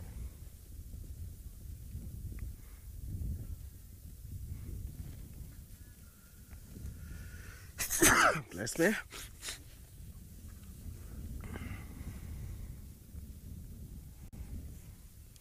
Atrisa really loving the elephant sighting here. It's beautiful, unbelievable. I love when the elephant really behave like the way they are. Such a very impressive animals. Coming close to the vehicle and just walk away, showing the respect. Uh, look at these two there. Look like a females. The females happy with one another. Believe so. Look like it's all about uh, their welcoming and happy with one another. It's not a play. It's more or less hugging. Elephant are such amazing species. Of course, what we do in most cases when we are happy, elephants do the same. They can use the trunk to hug one another, play with one another, But especially if there's something that they have achieved around when they walk around. Maybe it could be really one of the female have youngster and celebrating. I've seen where elephant where one of the female wants to give birth and surrounded the female, protect that particular female.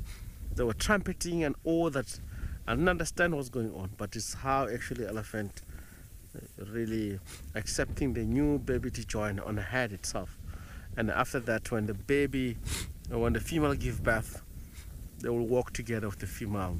There will be no more celebrating. It will be quiet and move around in the area without making any shouting noise around. It's very windy, very dusty here. Sometimes it's created by elephant, but uh, lovely because the area. Oh, these are all young males. They're playing. The one more to the left looks like a female from the distance, but they're all young males. All of them are young males, and one individual female low. The nature to do so, giving, and also are really accepting to be in a company.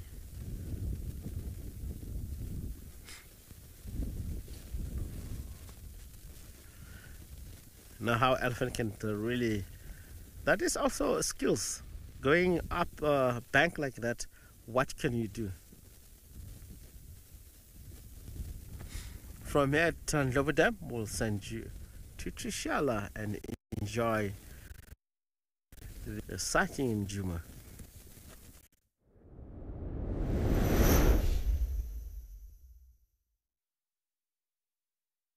With the hyena den.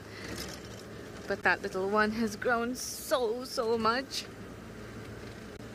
That was just lovely to see. There's actually some spots showing, well, quite a few spots. The back, of course, it's still a little dark. I hope that you are able to see the cub because I know we were experiencing a bit of breakup. And it gives me hope that maybe, sorry, that's just my game drive radio. Let me turn that off. That maybe June will come round sometime and we'll get to spend a good amount of time at the den like we used to. That would be lovely.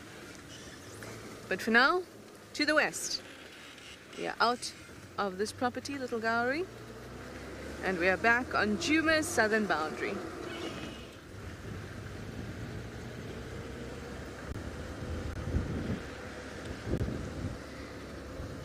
Now, despite the sunshine, it's actually quite cool.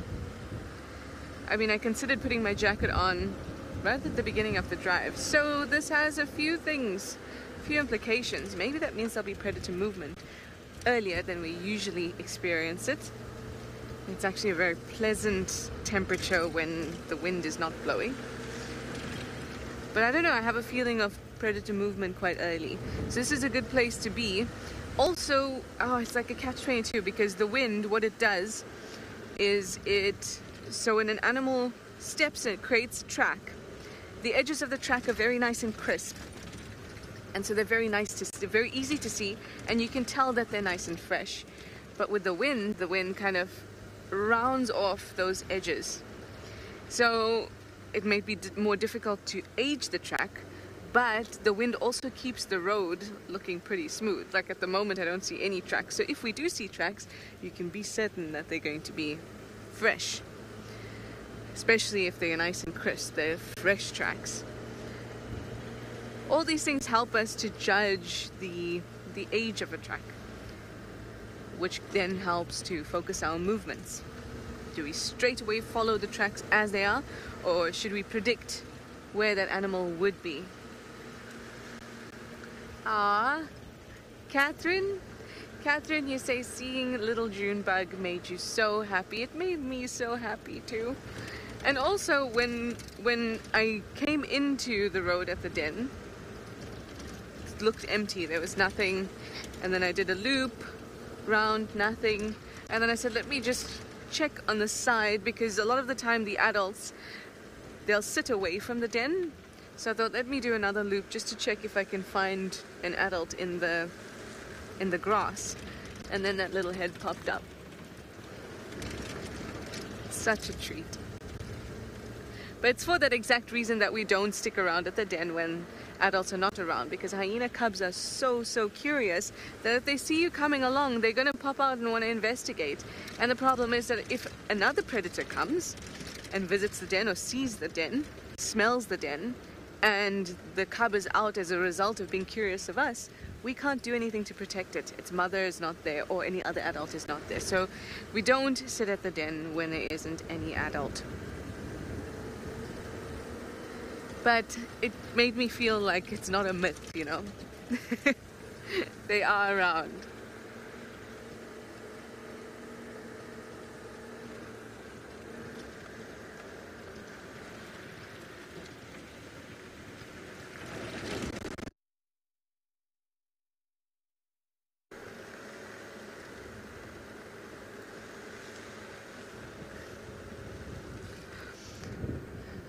Um. Oh, I'm very sorry. I think uh, we we may have had a black screen or something there for a moment. Sorry about that. I think it's this road as well. It's very very corrugated. So I was saying that I'm in a bit of I'm in two minds. I'm really having a feeling about the southern area Now over on this side is Little Gowrie, where we had the hy where the hyena den is. Uh, well, there and to the left, and then over back on this side, that's Djuma, and so we are right on the southern boundary now. Now we can't go into Little Gowrie just you know for fun. We were very lucky that they allowed us to come through for the hyena den but this particular junction is an area where I've seen Xidulu. The leopardess, the first leopardess that I saw uh, on drive, it was about four days ago now? The first leopardess. So she she often uses this area to cross into Djuma, out of Djuma, into Djuma, uh, into Little Gowrie, out of Little Gowrie. So a good place to look for tracks, of which of course there are none. But it's okay. It's a nice thought, a nice thought, you know. Maybe I just drive along here and she pops out. Wouldn't that be lovely?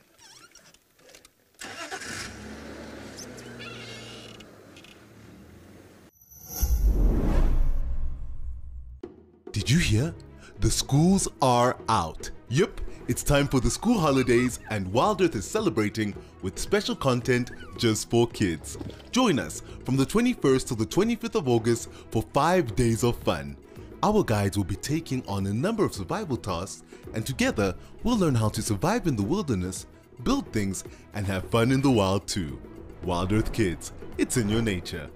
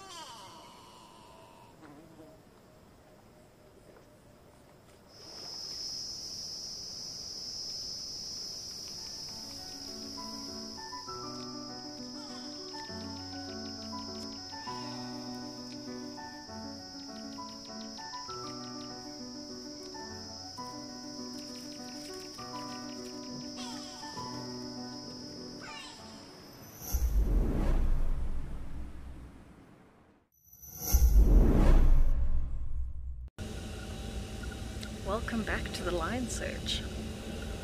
So far, no more success. It's alright though, we're working on it. We'll get there, hopefully, fingers crossed. I've braided my hair. This in itself should be good luck. so we're taking a very snail-paced safari at this point for a very good reason. Okay, two very good reasons. One, there's never really any reason to rush through the bush. And two, it took us two attempts to spot those lions lying in a pretty open area earlier. We're in a much thicker area now. I don't want to miss them. Now the good news is we do have another vehicle that's come to join us. He is looking for a very big male lion and we're kind of hoping the big male is going to be with the rest of the pride, the other sub-adults. So together, joining forces, we can cover more ground and hopefully find you the rest of the lions. And find us the rest of the lions because we enjoy spending time with them. Uh, we've done all the way down that riverbed where we heard the alarm calling. No more alarm calling. Any tracks of see any lions. We've come on the left side of the lines. We're now on the right of the lines, the actual three that we had. And we're coming back around and we'll come out almost just below them. Almost back where we went back into the river. So we're hoping that doing this, we're to cover a bit more ground, find them. Then we can also do the road above. We can do the road further past the riverbed. And we can, last but not least, do the eastern boundary, which is going to be on our right-hand side. So there's not that many roads left for us to cover. The biggest challenge of being in this area is you can see how thick it is. So we're in a seep line. Means there's a lot of silver cluster leaf, this greyish green and a lot of African wattle and a lot of guarries and a lot of bush willows. There's also a lot of tall grass. So it's going to be a challenge. We're going to take it slow and hopefully we'll be successful. We're going to carry on and we shall send you over to Trishala to see what she's up to.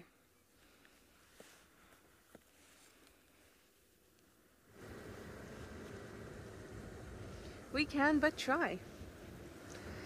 I hope that she manages to find the rest of the lions yeah, I'm still looking for tracks. I mean, I'm not saying especially that I'm looking for Xidulu, but I do have Xidulu on my mind.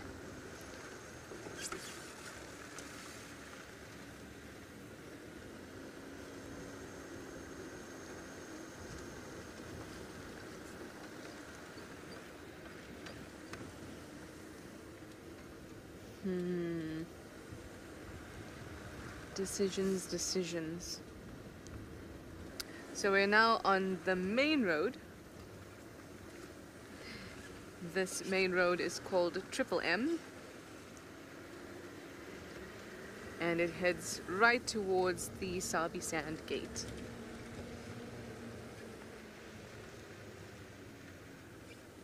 Hmm.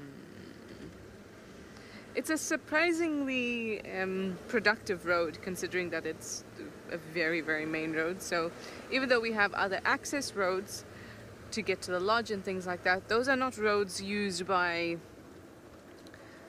you know, like big time delivery vehicles, like delivering fuel or something like that. Uh, unless they're going to a particular lodge. But this road, this is a this is a proper main road. The triple M is Mala Mala Main, and this cuts like right through the Sabi Sand and it's surprisingly productive. Oh, windy. That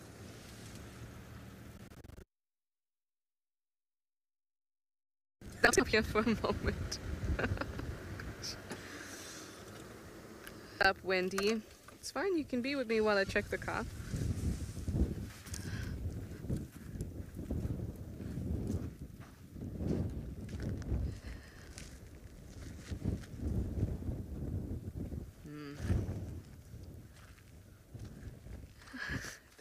Car's okay. Um,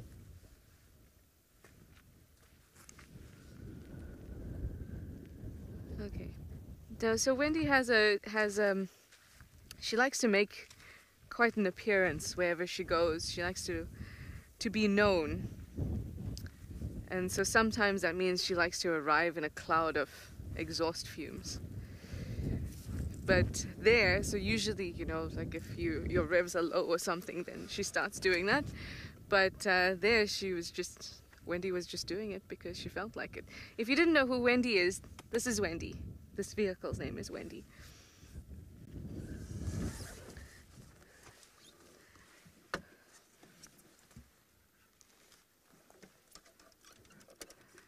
But it seems like it's just some harmless exhaust stuff. Oh, Fanny! I love this question. You'd like to know how my parents feel about me working in the bush. My dad loves it. Really, really loves it. He likes to tell his friends about it. Um, some, and he always asks me for animal videos and things like that. So my dad's a teacher, and uh, he makes puts them in a little clip to show his classes. Very cute. My mum, on the other hand, loves it in theory, but hates it when I tell her or show her videos of elephants near me or anything like that. She hates it. Um, and I'm not sure if she went through with it or not, but she said that she was going to write to the big bosses and tell them that they should put a cage around the car because it's so unsafe. And if I tell her that I'm near, like, oh, look at this elephant or look at this leopard, then she says, mustn't come near you. Yeah. But I think they, they, they love it. I think they also knew that it suited me. From the time I was very little, I was interested in getting into the dirt and the plants and touching all the insects and all those kinds of things. So they knew that it they knew that it was meant for me. I think at first they were a little bit skeptical and it was kind of like, yeah, okay, do that till you get a real job kind of thing. but now yeah, now I've built something out of it. And uh, I think they're quite happy. Uh, um, and I mean this is a bit of like back history, but anyway, in terms of uh,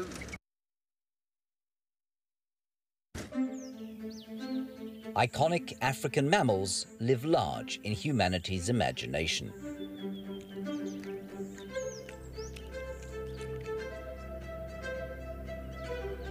Across the continent, fascinating mammals have evolved to fill every conceivable niche.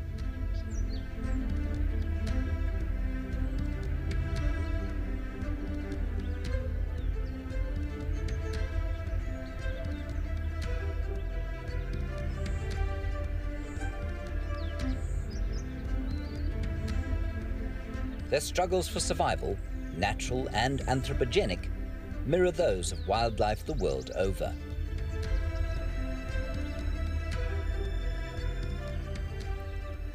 Because they are so beguiling, Africa's mammals have become ambassadors for the Earth's remaining wilderness.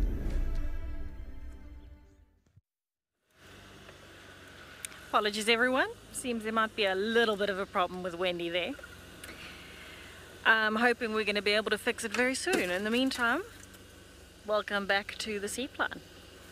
Very thick area, very long grass. Believe it or not, this grass might actually even be taller than those lions' bellies when they're on their sides, which is hard to beat, but it's doable, I suppose, with very long grass. and this is where we're at. It's long grass. It's thick, thick, and it's going to be quite tough to spot these lions. so we're now kind of completing the loop. We're about to come out on that same road where we had the three lions earlier, coming down from the dam. And we were kind of thinking, based on where those noises were, based on the general sense of direction of those lions, that either they were going to be down in the riverbed where we stopped in the shade there and showed you that big jackalberry tree and where they might be, or down here on the left, because this is another little part of that same riverbed, the little dry river that runs up. It's actually a tributary. It's a little bit of a smaller one that leads into a bigger one. But so far, nothing. And in fact, we're in the area now where that beautiful leopardess, the Queen of Djuma, the lovely Miss Tlalamba, this is where she's had den sites in the past. You will hear the radio is going in the background. I don't want to turn it all the way down because we're all working together to try and find the lions. But you don't really want to miss anything too important either. We're all chatting amongst each other, amongst the guides, making sure we're all well informed. Come on, lions. Come on, lions. Okay, so we are now approaching that road. We're getting pretty close, so soon I'm actually going to chat to one of the guides because he is now with those three lions. He also, he actually also missed them the first time around. and he was just radioing me to ask me where they are and then he spotted them again coming through. They're so well hidden despite the fact that they have such huge bellies in the area. Amazing how well these animals can camouflage. I was really hoping the other year. Maybe though what we might have to do if they're not here, we can go back to those three lines, have a look they're doing them out of I don't want to say moved, just repositioned onto their backs or something. Then we can go back to the dam and head up to the northeastern corner, the actual boundary. Oh, Kathy Lee. That's so sweet. Thank you. I'm so happy to hear you've braided your hair as well. I'm hoping that that is exactly the good luck boost that we need. Let's see if it works. Let's see if it works. Linda Poley's shirt found us the elephants. Maybe your braided hair will find us the lions. Fingers crossed. Braiding fingers, braiding hair.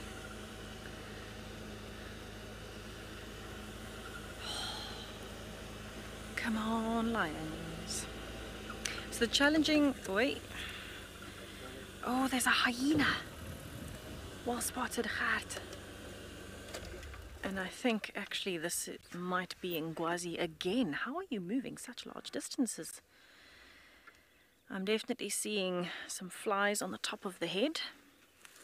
I'm seeing some pretty distinctive markings as well. Let me know if you agree that this might be the young male spotted hyena from the Djuma clan. Yes, I think it is Ngwazi, but please do confirm for me as well if you agree.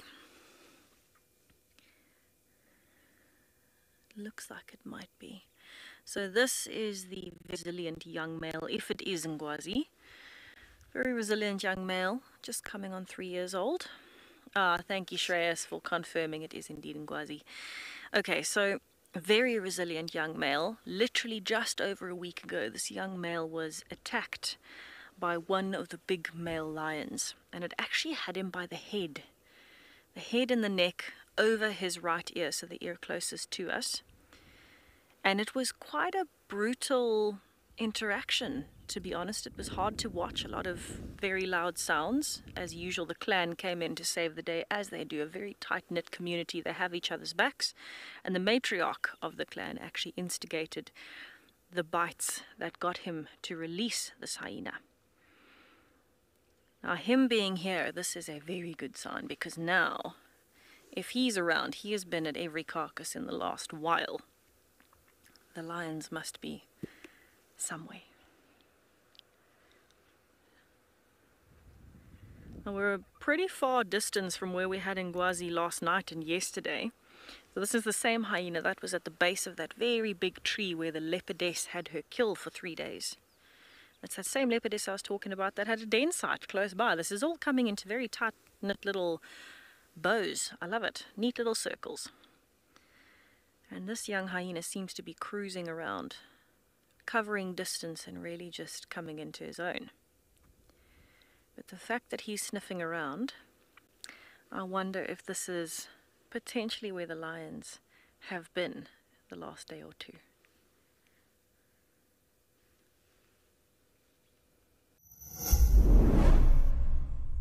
Did you know that the Wild Earth team makes weekly behind the safari content?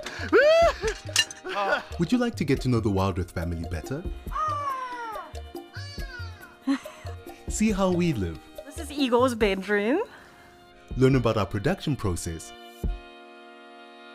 and see the antics that happen off camera. Sign up to be an explorer, and you will get access to all this content and more.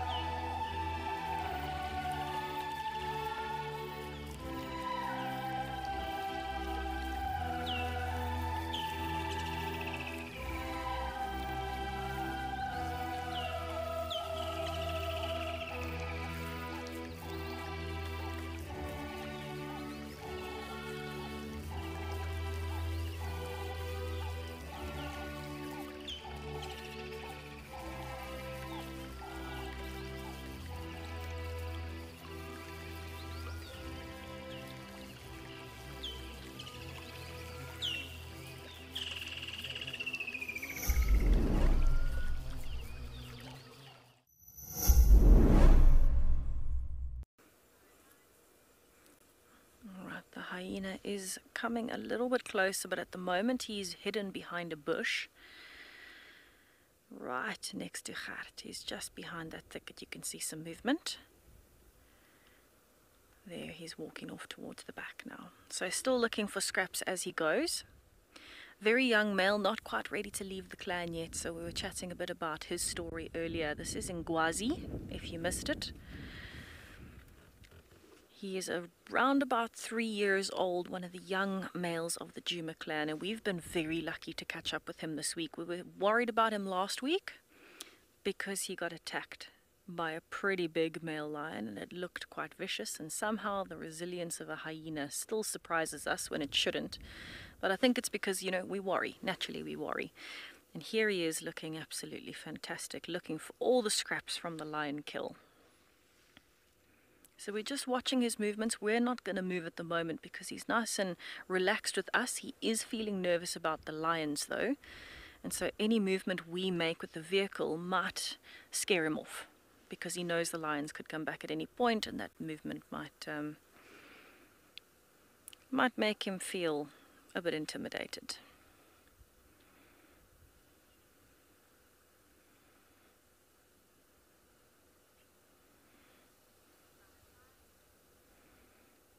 I love the movement of a predator's head behind the grass. Just the little top of the fluff sticking out. Oh, what did you get, boy? A hyena snack. Oh, careful, don't choke on it. That was a weird noise.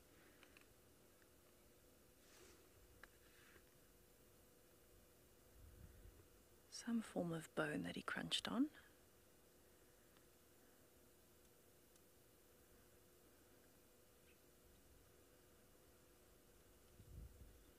So quite literally looking for anything he can possibly find. Being such a young male, I don't know how uh, how much hunting he's done on his own, but he's definitely a very good scavenger. He's been at every carcass. Kathy Lee, I wonder if this was the braids actually. Maybe it was to see this gorgeous boy again. Pretty Ngwazi, and you're absolutely right. It doesn't matter what your rank is, the clan will still care about you. So, what Kathy Lee is talking about, if you don't know, is that hyenas work on a matriarchal system. matriarchal, matriarchal, I don't know. Now I'm confusing myself. But in essence, the females are dominant over the males and they work on a hierarchy. You are born with your mother's hierarchy. Now, Ngwazi was born to the lowest ranking female hyena in the clan. Her name is Ribbon, but she is an absolute fan favorite. And so, being the lowest ranking, he will be the lowest ranking male in the clan. But regardless of that, the clan looked after him like you can't believe in the attack. And you can still see some of the remnants of the attack there. He's got an open wound on his head that we hadn't actually noticed until Trishala found him and got a nice close up view to see that wound oozing a bit.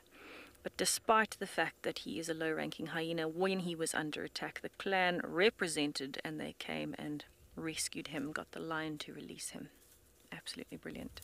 We're going to stick around and see what he does, and we'll send you over to Rexon with some giraffes.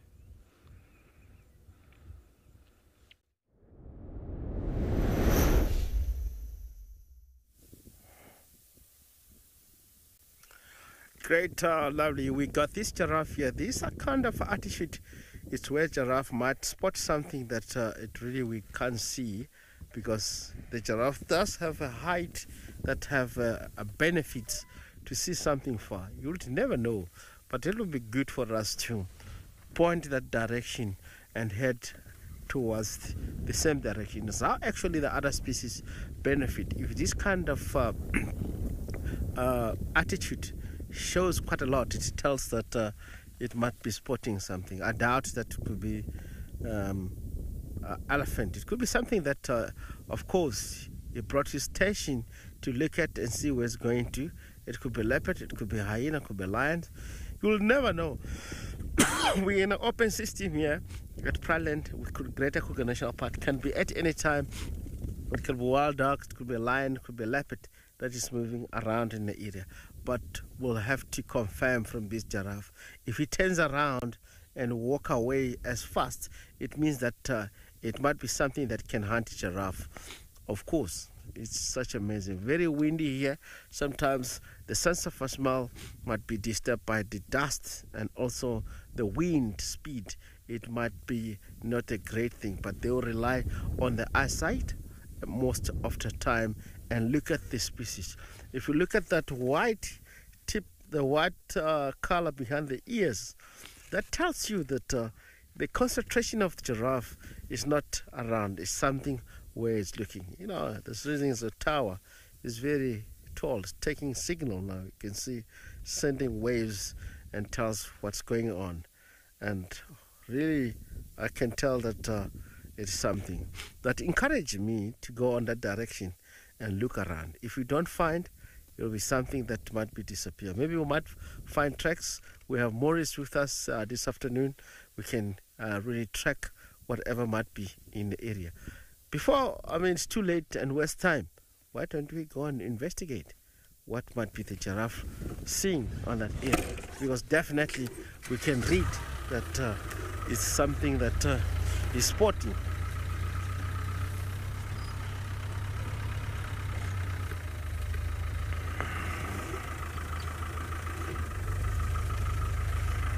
I just look at the direction. It works. It helps me a lot. It's 45 angle that way. So pretty much I'll go with the level and get the direction exactly.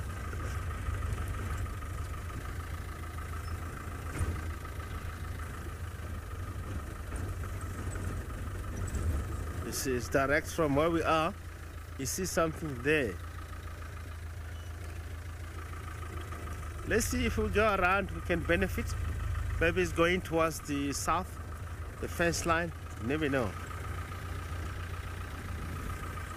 At least uh, we have something that we can read from the giraffe.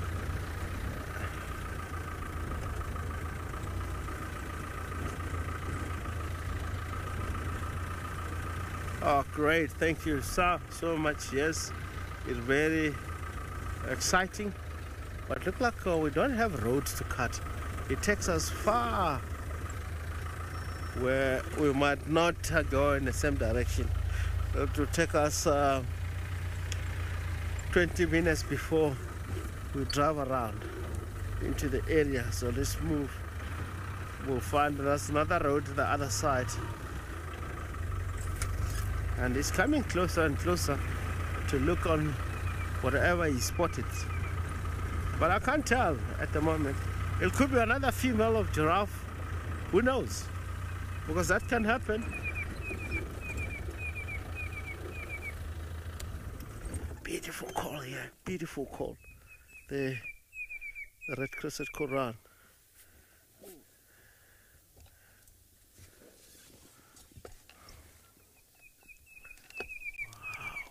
Listen for that. Yes.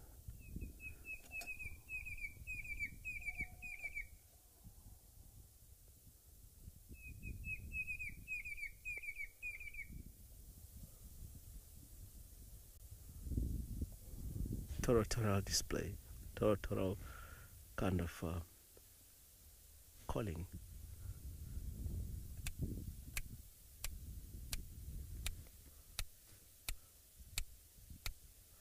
You see, start on the neck, it start to do that kind of uh, dominance, fluffy sort of uh, uh, feathers to shows that he's a territorial calling. It's announcing himself in the area it can get fluffy where at the back it might open up and see the red the red crest that they have at the back unbelievable species we call these species suicide bird sometimes they can fly very high as a territorial display and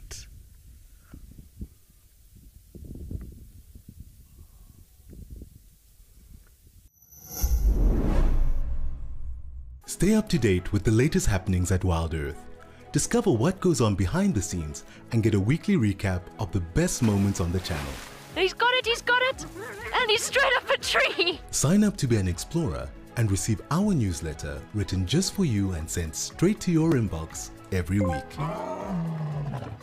WildEarth Explorers, a club for people who are passionate about nature. Thank you for joining us and have a fantastic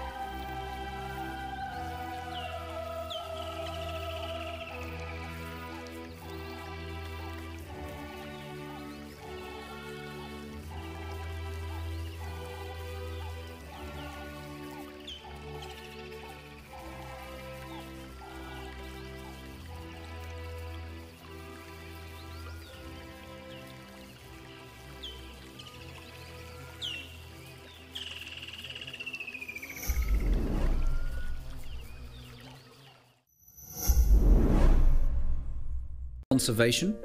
Ready to take your knowledge and skills to the next level?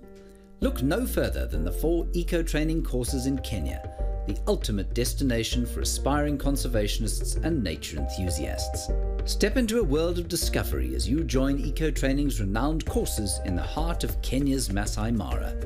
Immerse yourself in the diverse ecosystems of Out of Africa guided by our team of expert instructors. From wildlife tracking to bird identification, bushcraft skills to habitat assessment, our comprehensive courses offer you hands on experiences that will deepen your understanding of the natural world and equip you with invaluable conservation skills. Engage with local communities, learn from their wisdom, and understand the vital role that they play in sustainable conservation.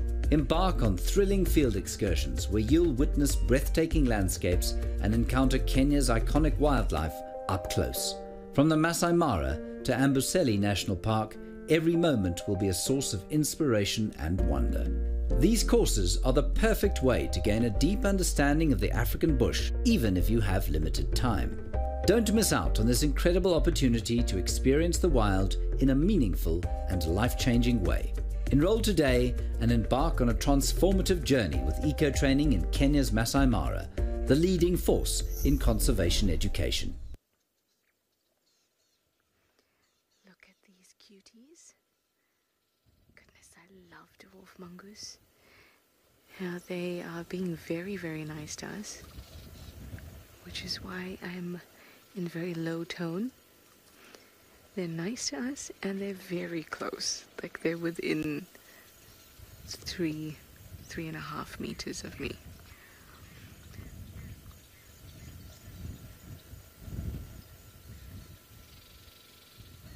You are such a cutie. You can really see those claws.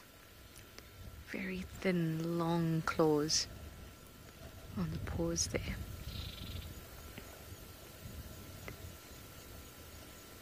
Everyone will be coming back to their resting spot for this evening now. And look at how clever they are. They're all on the western side of this old termite mound. that means they're soaking up the sun. Tom, have you? I'm pretty sure you've said that before. You say Trishala the mongoose queen.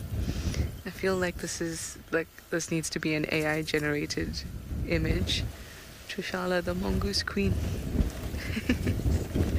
I do love mongoose. The striped ones, the slender ones, the dwarf ones. Oh, I love the dwarf ones. Look at that, a bit of a glint in the eye from the sun. Oh, just adorable. Look at this. You can really see how the fur is not a solid color. It's almost as if the fur is banded with lighter brown and darker brown. And from afar, it just looks like it's dark brown, but when we look here, you can actually see the bits of gray. Oh, they are really concentrating. I think some of their members may be on the other side of the road. Maybe that's what they're looking at, but they are so, so curious, and that's what I love about them is that much like elephants, they're always doing something, always up to something. It's never a dull moment with them. And they pay attention to you.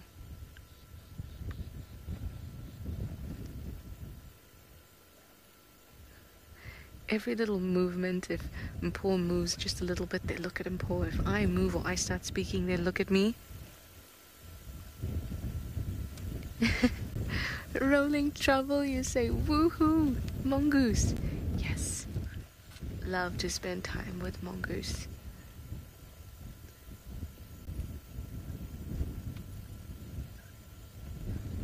Can also hear them calling faintly in the background. I think that this group is actually quite large. I've heard them calling from the west of us, in front of us, uh, to the side of us as well.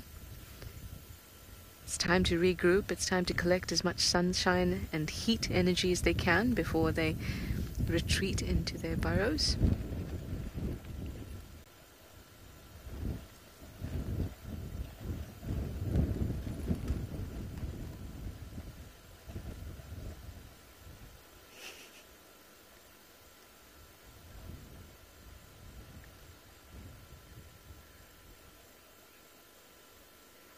Ooh, Penny, that's a tough one. You'd like to know how can we tell if a mongoose is male or female? It's very difficult, Penny. Um, there is a slight size difference, but even even still, um, you're going to have to watch them. Behavior is the best way to tell them apart. There's basically no sexual dimorphism. So I have no idea whether we're looking at three males, three females, two females, one male, two males, one female. I have no idea.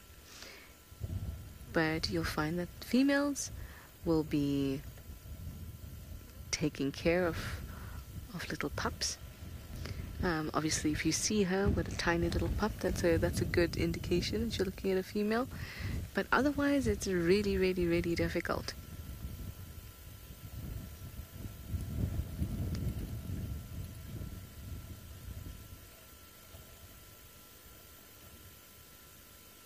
Their genitals are not very obvious either.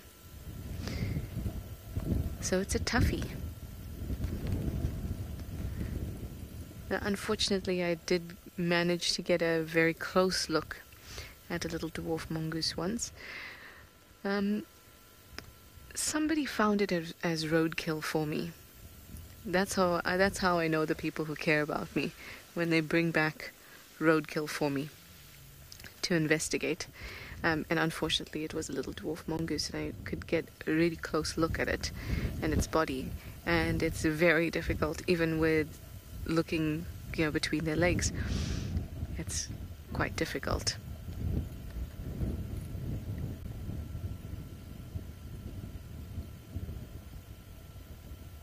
Hello, cuties. I feel like they're. It's not the same three that we're seeing all the time. Like this one here, it left and then it came back, but I think this is a different one. I think they're taking turns to check us out.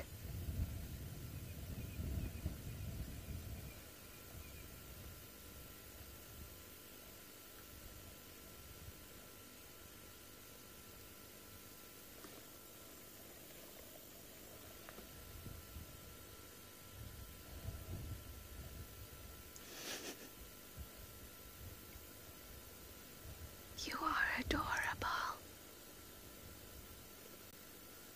Even whisper, it heard it, turned its head towards me.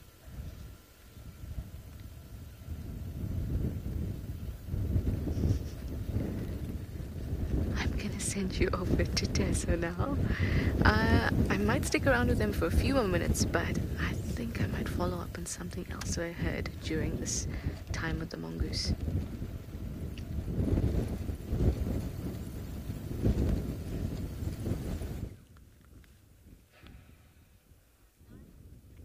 Oh, that sounds like such a cool sighting. There's nothing quite like spending time with a colony of mongooses right next to the car. Very, very nice. That's all I was looking for yesterday, and our mongooses hid. But we've taken a step back from the lion search for now. We're not actively searching, but we're doing more of a sit and wait kind of attempt, suppose you could call it. We figured we'd sit at the dam and appreciate the hippos because they're becoming quite active. The weather has turned, you can see how rough the surface of the water is looking. It's gotten very cold very quickly. The wind has picked up. The sun has gone behind some clouds that are building up pretty quickly too with this cold front coming in and so the hippos have decided it's time to start moving around pretty quickly. Now they're spread out at the moment. There's some around the back left where it curves and there's some that have been fairly close to us and are moving around the dam so hopefully they decide to come back. And we figured with this change in the weather, with the fact that it's getting pretty late in the afternoon because at the moment it's almost 5 p.m. here, it's going to get dark probably in about what an hour hat around there maybe yeah both of us haven't been here for a while so we actually don't know. Good point. I'm trying to think what time it started getting dark yesterday. I think it was just before six. So it's a good time for lions to be moving. Since we found the spot where they had clearly killed and eaten something where that little hyena was and there were no other lions there i don't think the other lions are actually here. Wherever they are, I think they missed out on that opportunity of a meal, which is probably why those three looked so fat. They were gorged on food. There was quite literally nothing left of whatever they killed and ate. So, if they stay there, and I think they will because they are so full, the other lions will probably try and come to them, and hopefully they come past the dam on their way. We've covered all of the other roads to the east of those lines other than the far eastern boundary. And we haven't done the stretch of the northern boundary that's just above us. So we don't know if they might be there, but hopefully they come through here and stop off at the dam first.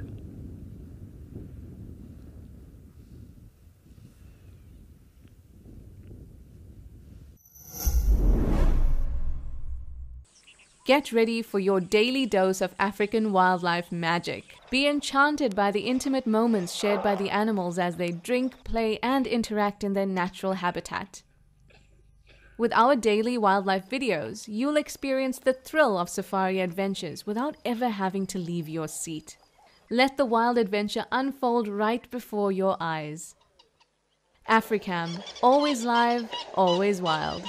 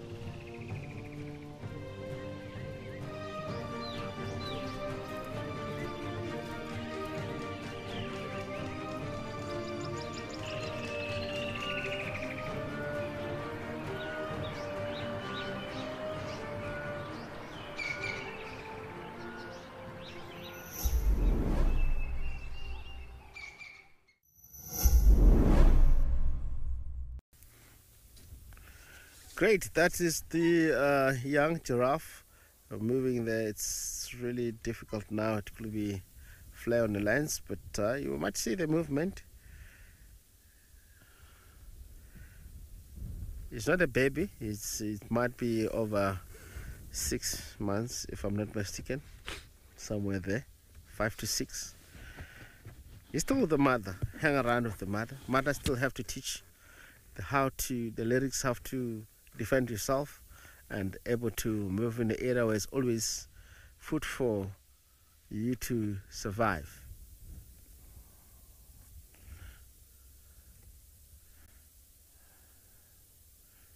Population of giraffe in Pridelands is looking great, beautiful.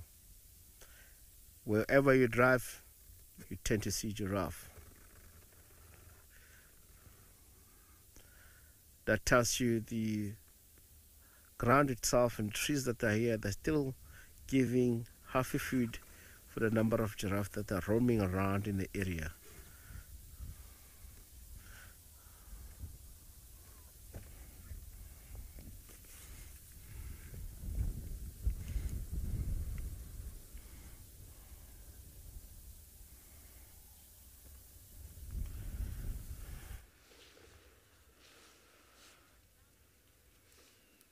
So we've repositioned ourselves a little bit because the hippos decided to come to the far end of the dam. So so did we. And I feel like it was a really good decision. There's one coming closer to us, busy trying to give us a bit of a sneak attack. it actually looks like a smallish hippo, so I'm wondering if this might be a sub-adult.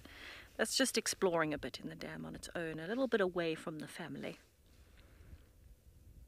Nice little adventure coming to check who we are, what we're doing. Ah, never mind, mom is there too. So it's definitely a youngster because its chin is resting on mom's back. Oh, no, mom's making a getaway. Maybe mom needs an escape from the sub-adult. But they're definitely moving quite a lot at the moment. The sun has broken through the clouds very briefly again, but it won't be like that for long. There's a big cloud bank building. So I'm hoping the hippos are going to get active a little earlier than normal when it comes to actually leaving the water too.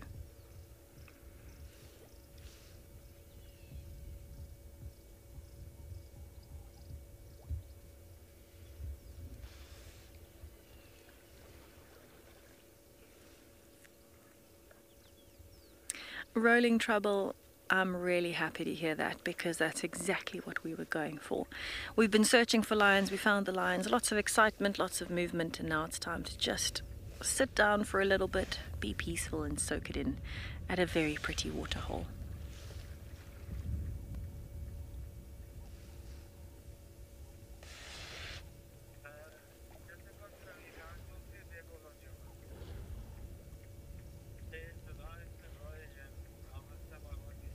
You hear the game drive radio in the background. It is on the lowest volume. But it's just so we can stay informed. Now the other three hippos are in that little corner up at the top right there that you can see. And the one almost looked like it wanted to come wanted to come out of the water. Sorry. My brain stuttered there.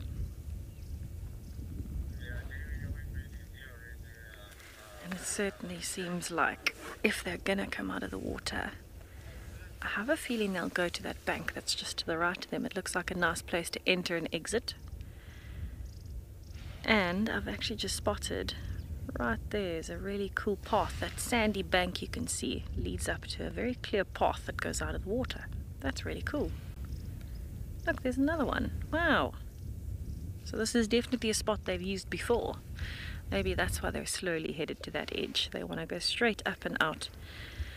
I suppose it makes sense as well to use the clear path and then go straight into the thickets to try and keep themselves safe as they exit the water. That's probably their most vulnerable time.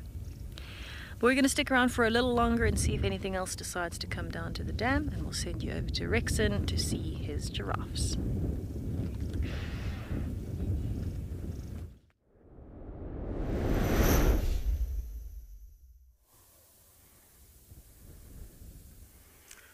Great.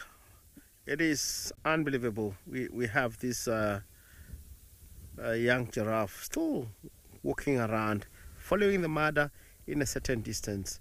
It's about like 100, 150 distance. The mother is always in the front and uh, looking around in the area. It's in the nature of giraffe. Very clever system how they went, how they, they do things.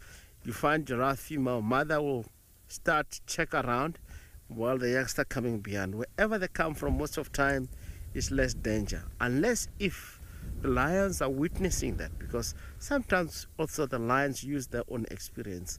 They can notice if a mother there is there or or less, what can do, which area they can approach. But most cases, if they've been on that area and walk past, it means that uh, nothing that uh, is serious. A mother will check around if you feel like uh, vulnerable, you go back to the youngster. A youngster will get hunted in this age, maybe from lions, pride of lions.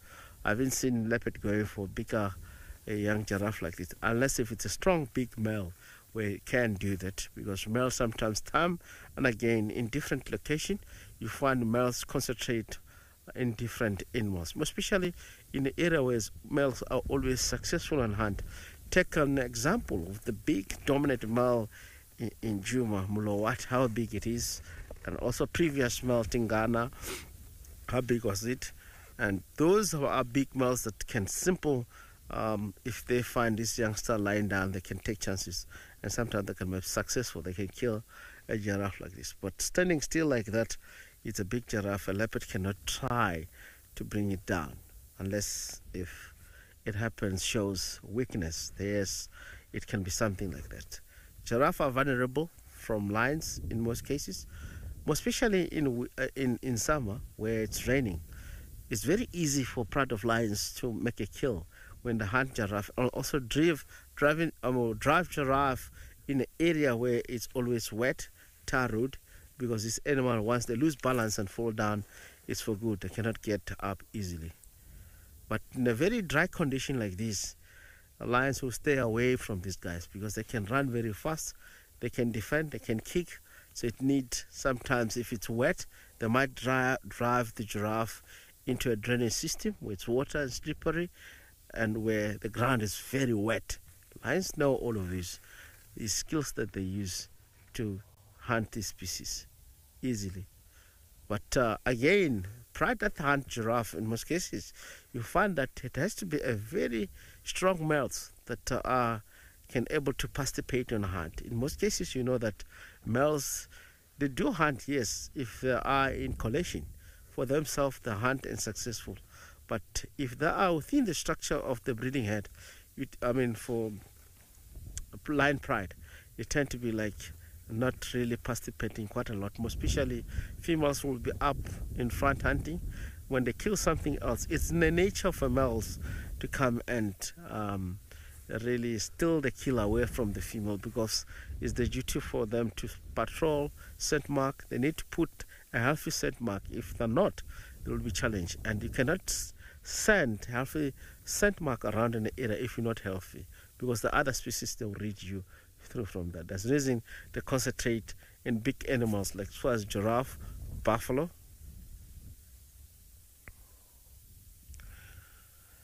Of course, from the baby giraffe here at Pridelands, let me send you to Steve and see what he's up to in Amakhala.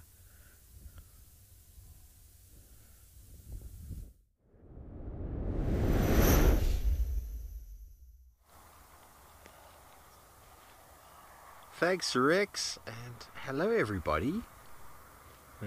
Have you missed us? We have been here on the other side of the road looking at a bush. Well, actually, not. I have a female cheetah with four cubs, and for the last 45 minutes, we've been watching her stare down a herd of red hartebeest and in amongst the herd of red hartebeest are two brand new little youngsters.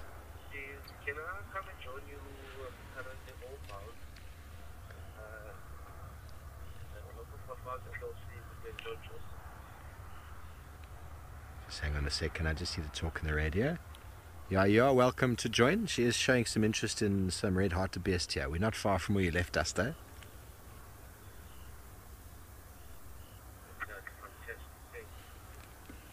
Okay, so she's been very patient. We've had her in the middle of our camera for quite some time, and just before you came to us, she's gone behind this bush. And well, we were talking a lot earlier about the patience of a guide and how sometimes you just have to wait it out. But we know predators learn through experience. Inexperienced young predators make a lot of mistakes.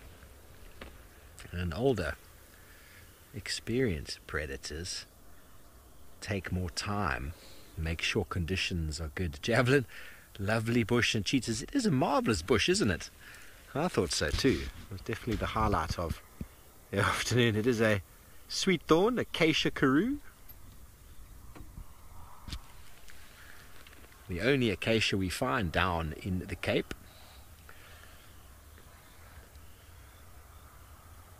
Now I'm almost certain that she's going to try and catch one of the young hartebeest, although they keep getting lost in amongst the thick vegetation around the parents' feet.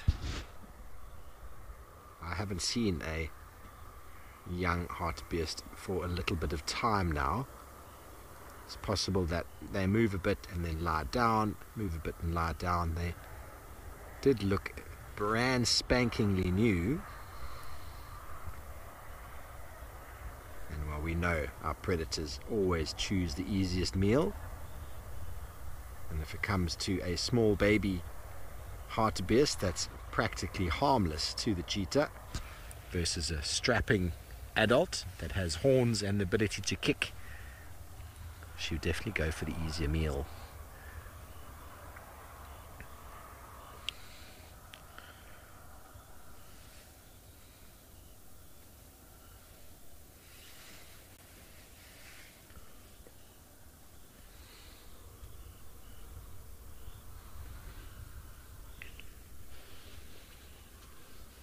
Don't forget, everybody, this is a live and interactive game drive experience. So, what you're seeing is a live bush coming to you live from Amakhala Private Game Reserve here in the Eastern Cape.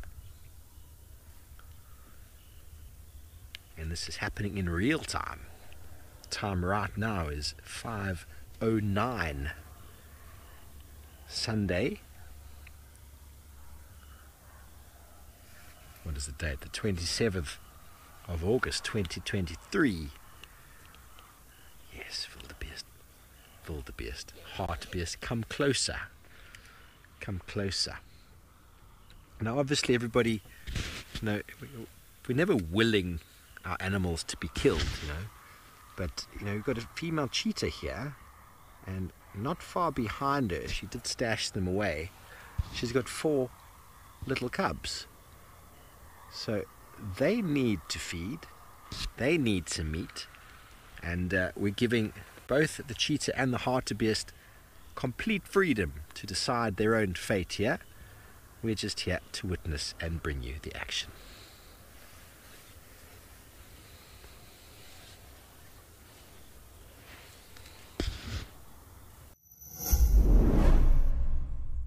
Chatting around the fire is an ancient practice that has connected humanity for centuries, and we want to keep it alive in our modern age. As an explorer, you'll have access to intimate gatherings with our naturalists, fascinating guests, and experts where we share knowledge, insights, and stories around a crackling fire. Rediscover the power of connection. Sign up to be an explorer today and experience the magic of WildEarth's fireside chats.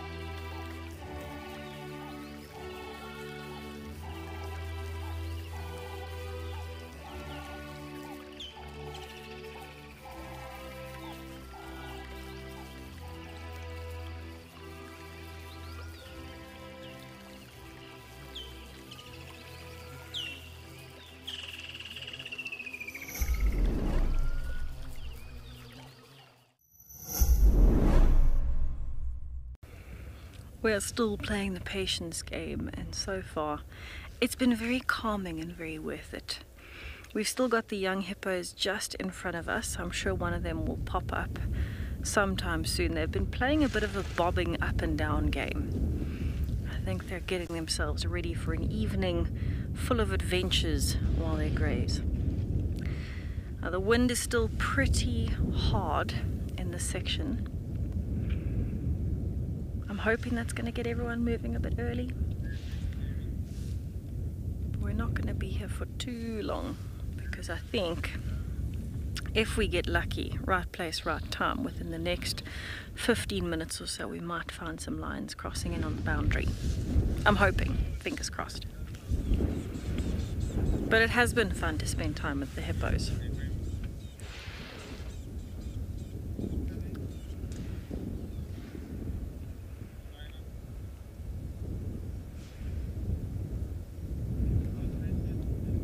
When I was here in, I think it was March, I'm guessing it's the same two calves. They were still really small. They've grown a lot since the last time I was here, so it's really nice to see how the family is expanding, both in size and in number. It seems like there's at least seven or eight hippos here.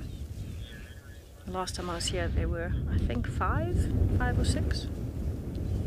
So they've been joined by a couple more family members, all spread out across the dam.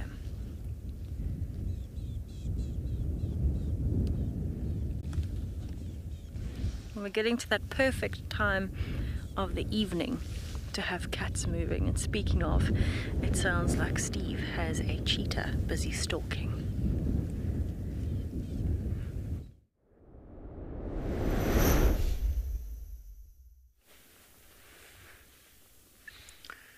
Thanks, Tess. Well, here we go. Can see her now. We weren't lying. It was a marvellous bush, but what a marvellous cat. Now, when we first found her this afternoon, she was limping a little bit. Her back right leg looked a bit sore, but we've watched her move a number of times, and she hasn't exhibited that same gait since. Maybe she's just been sitting on it for a while.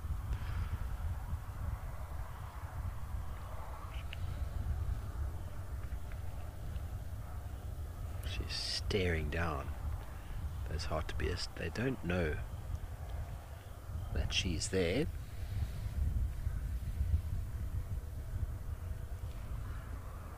Pumulela, I believe she's called. Thank you, Morgan.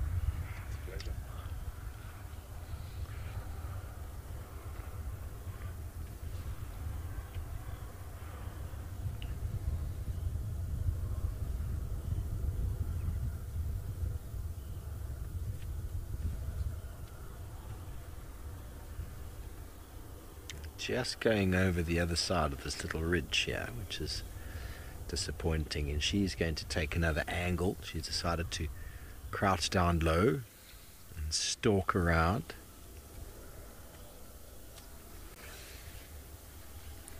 Franny, what a way to start, isn't it? Adrenaline. Well, we haven't experienced any adrenaline yet, but uh, we have been sitting on the edge of our seat because when she decides to go, well, then it's on. She's now going to use the cover of those trees there to get a little bit closer. She's trying to stay on top of them. I think I'm just assuming that she wants them to run down the hill. Running down the hill might cause them to lose footing. Maybe the hartebeest strategy of escaping is to go uphill. I don't know. I haven't spent a lot of time with hartebeest. Are very fast animals. They are open plains specialists, and they are another wonderful acacia karoo there, just to block out the frame. there we go. She's coming through out of the thorns of the karoo. You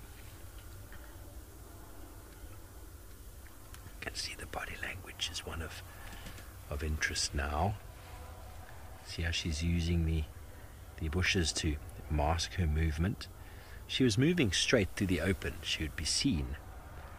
But uh, a camouflaged background with a camouflaged moving cat blends quite nicely.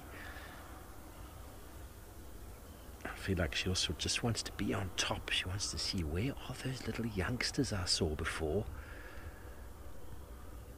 Little youngsters will be doing nicely. I know it's not ideal, everybody, to see a cheetah catching a baby animal, but needs must. We spoke before about her having four youngsters, mouths to feed.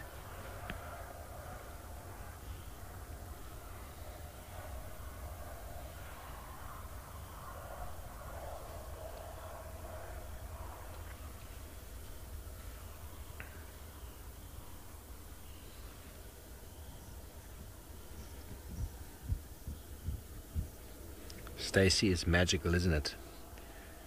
Afternoon sun.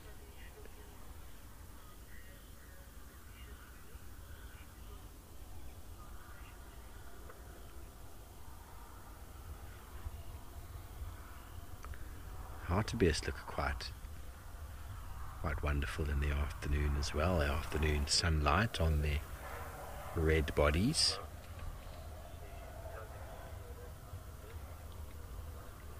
Goes. Very backward turning horns. A sub-adult in the middle there.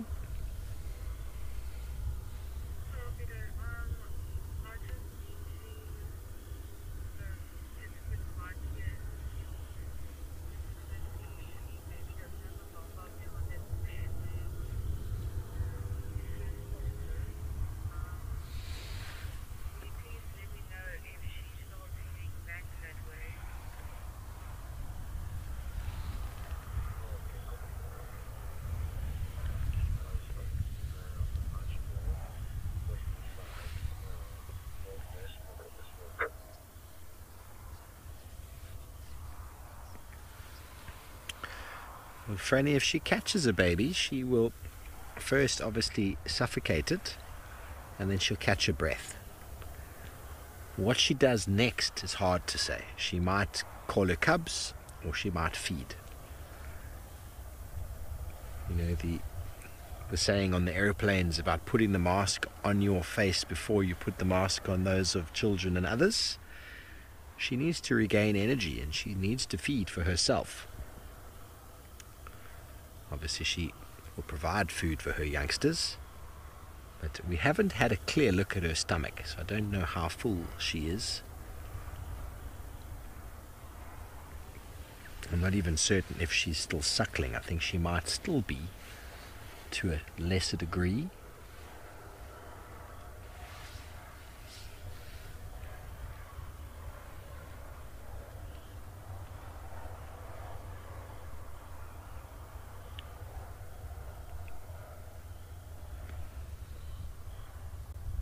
She calling?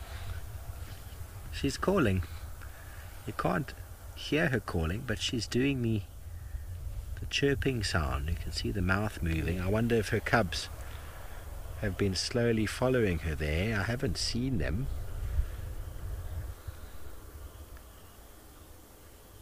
They weren't far behind her. And it is incredible how far the sound of a mother calling cubs can travel. It's a very specific tone that the youngsters learned to associate with. Maybe she heard it, one of them calling first.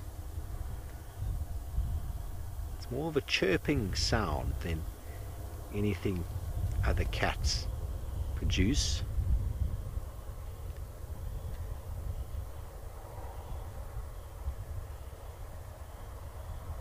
Don't see them.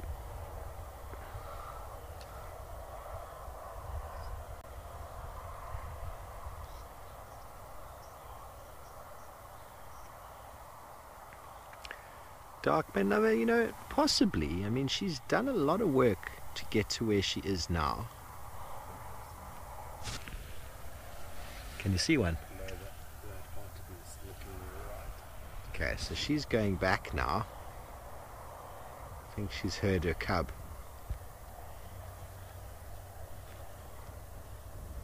Morgan says the hartebeest was looking straight at her. I think she was definitely close enough, but you know, she can't risk injury.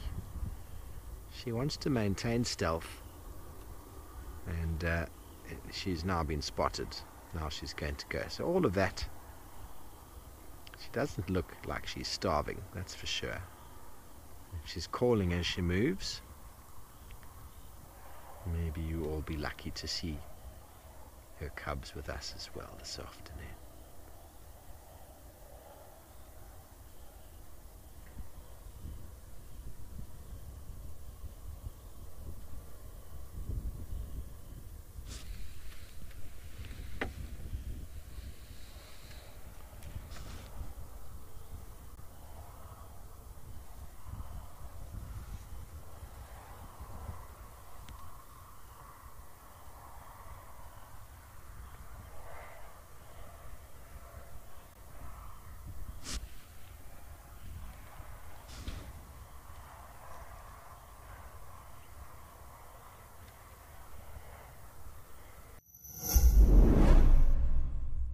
Hi, my name is Claire.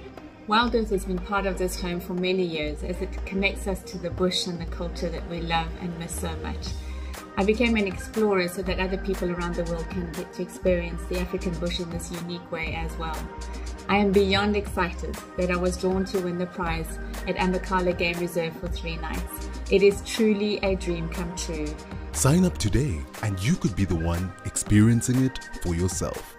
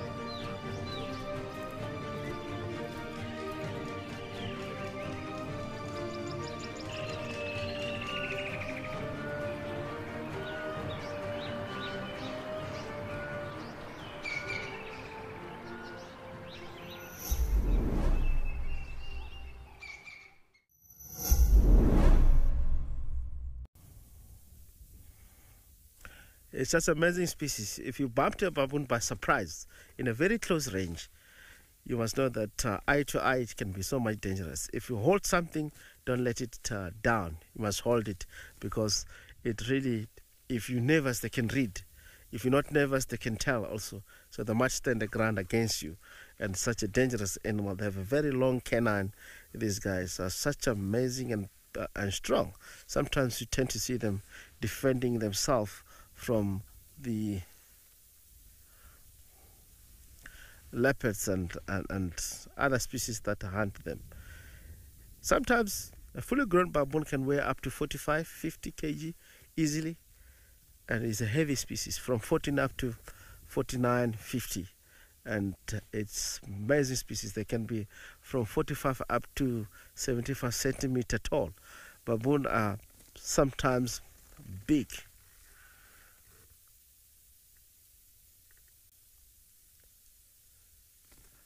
really amazing. In most cases, to defend themselves, they use young males. Young males, they are there to defend.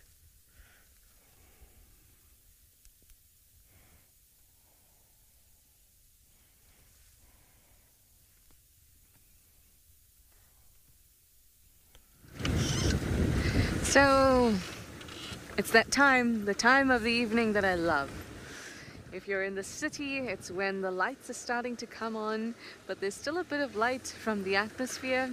It's beautiful. The sun is setting. All those diurnal creatures are starting to get even more alert. The wind has died down a little bit. The air is still fresh, but there's that hint of humidity. It's beautiful. And the night is about to come alive. So we had heard some alarm calls kind of way off to the west, um, but in the distance. So I went to follow up, and I've just come from that area. But unfortunately, we weren't lucky with tracks either. But it is a difficult place because it's around the power lines road, and it's very rocky. So tracks are best in fine-grained or finer-grained soils because it can actually create an impression. Where it's very rocky, it can't create an impression. And I did just hear that tortoise pan, a male leopard, was found to the west of us. So I wonder if we just missed him as he was coming out of Djuma. The timing and the area fits. So, yeah. But anyway, it'd be nice to spend some time with some elephants, especially with the setting sun.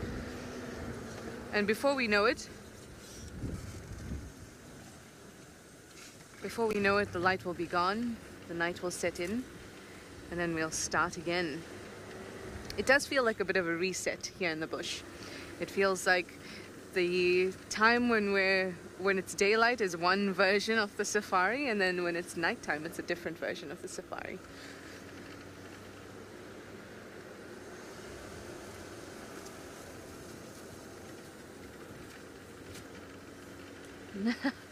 Hi, Running Bear. You say, what a great day to tune in. Yeah, Sunday afternoon or evening, what a great day to tune in.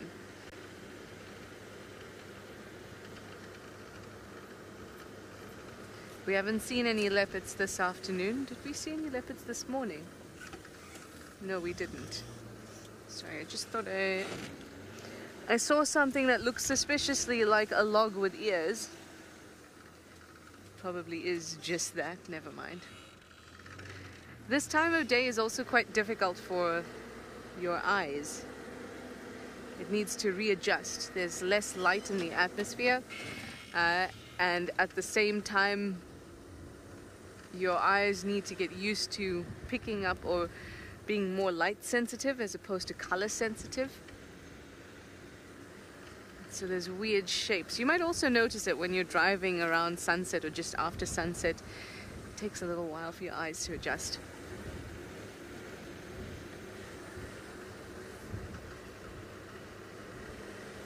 Also keeping an eye out for tracks. Nothing so far. There's all the movement from the day, so tracks are very obvious. Tracks of predators, that is.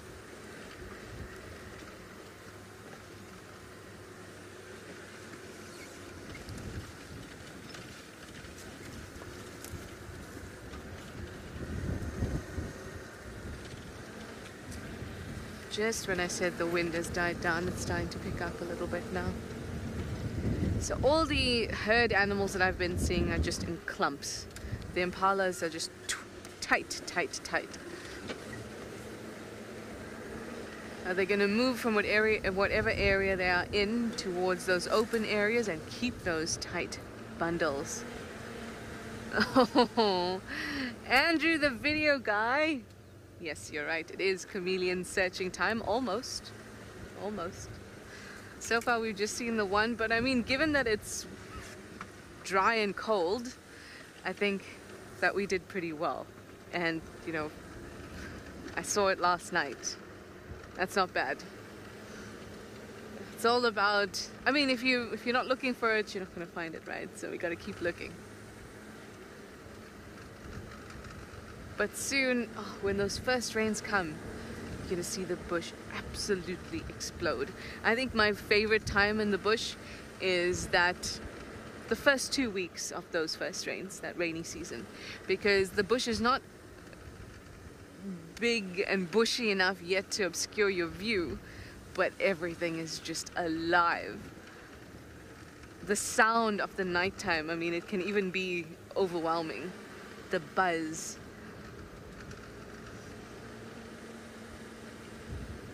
So last night uh, I was in bed and I was listening to the sounds. And I think one sound that I really love but I forgot about was that of the Scops owl. I mean, fiery neck nightjar, I love that sound at night, but that Scops owl just reminds me of being in, in bed in the bush. Hopefully, we'll hear one a little later and I can point it out to you. Anyway, I'm going to keep on searching and I'm going to send you over to Rexon. He's with some baboons.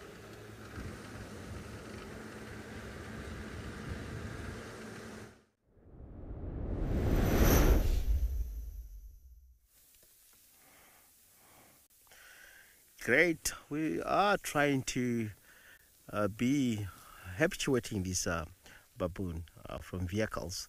It looks like they are really doing well. These uh, baboons, of course, you may find sometimes in the structure in, in the area, they can be from 8 up to 200 individual members uh, per troop. That can happen, especially if these baboons stay wild and they don't break uh, out from the reserve, go to the outside, where in towns where they tend to become problem animal and try to reduce the number of baboon. Because sometimes these guys if they feel like in numbers they feel like they have they're strong in in in in the area where in human habitat they can fight they can do anything. They can go inside uh, kitchens and everything. They can steal everything. So if baboons tend to get to that way the our Mpumalanga Parks Board will try to really reduce the number or make sure that they don't go back there by really reducing uh, certain males that uh, know very well how to break through in houses. I've seen baboon before in the lodges. What they do most of the time, these guys they abuse the little ones. If they want to break through the window, what they'll do, they'll hold the young ones and throw it uh, in the window and break inside is where they can go inside and start to vandalize. They know how to vandalize these guys, um, especially in lodges where it's food all the time. Once they break in, they will be always breaking in. It's uh, really one of the most intelligent species. We will talk about elephant and other things, but baboon is one of the intelligent species out here in the bush. They can able to open the zip of the tent. They can able to open the lock. If anything like uh, where even doors of, ca- of, of, of cars, they can open themselves and get in, and they cannot lock themselves. They can even come out at their own time as long as they get what need to get. So it's one of the most species that observe quite a lot what we do, and they can uh, really copy from there and do that all the time. But in, in areas where they stays in mountains and all that, you tend to see them also loved by, uh, uh, I mean, by leopards. Leopard all the time, they will be following them. And the reason why baboon, once they have an experience, it's one of the species. It's really in wild, but they can live up to uh, from 15 to 30 years well, if he does have experience of uh, opening the door and do all of that, it's easy to pass on from the generation to the next.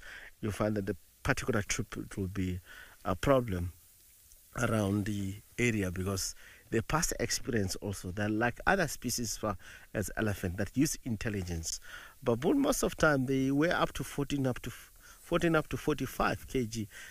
It depends on the area where some of it even get to 50 kg. I've seen it uh, once before where baboon weigh up to 50 kg. It's a heavy, heavy species, of course. They are ranging here in Africa. Most of time, you know that if we, in Africa, whether in east, west, we do have baboons around in the area. I like the scientific name, Papio, that it's a baboon. It's a name of the in scientific name, we call it Papio. It's an believable. We we have in different country of Africa, we have different baboons. we know we have olive baboons, of chacmas, we have all these kind of baboons that uh, are, are really in different countries of the of Africa. All of them, they have same behavior.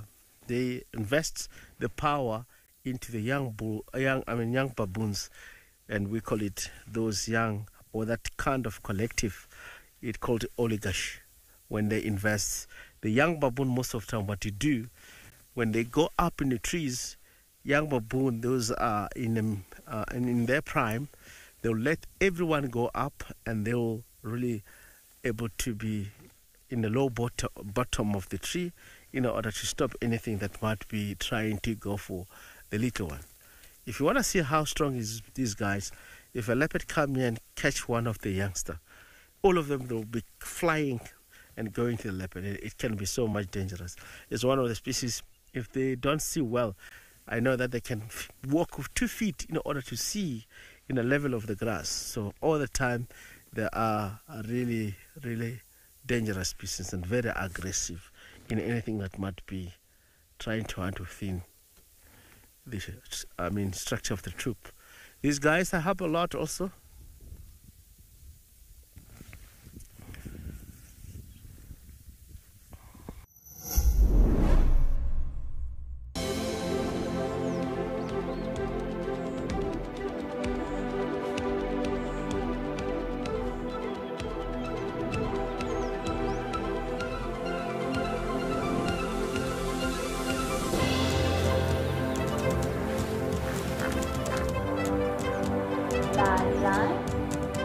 Those sounds just go straight through you.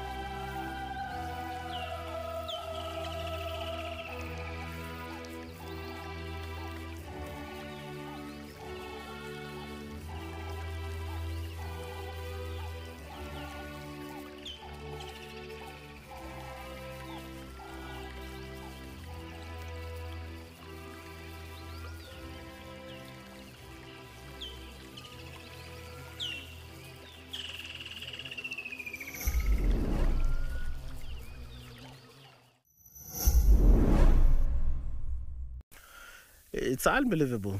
In most cases, I know that uh, I'm the Shangaan tribe. Most of people they will say as clever as baboon, because they refer these animals very very clever, because they can associate lots of things. You know, African, the Shangaan people, in a lot of time, uh, they use we they used to plow fields. Is how we we brought up ourselves by plowing all different veggies most of time when you want baboon to uh, not to get into your field, you need to um, tie anything that will blow by the direction of wind. It could be plastic, it could be cloth, it could be uh, uh, um, uh, uh, anything that can be really when it flaps, the baboon cannot able to come because look like people walking You used to tie each and every corner of the fence, also from the mealies and all that. But baboon will stop from the distance and watch that thing as it going blow by the direction of wind and able to identify that it's not a human being. It's just something that is there. They'll get in. What baboon fears the most is a snake. If you can able to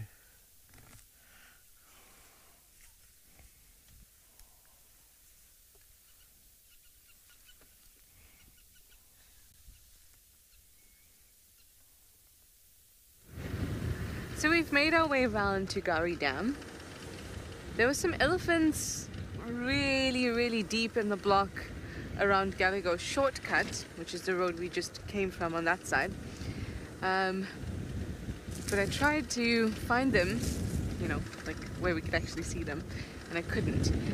So I thought I'd come here because maybe some elephants would make their way from that spot down here to have a drink.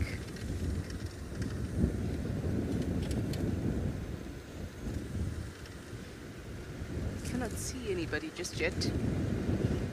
I feel a little impatient. Like I'm waiting for that sun to really go down because I feel like things are about to happen. Wait, there's a vehicle coming. Pop us in here for a moment.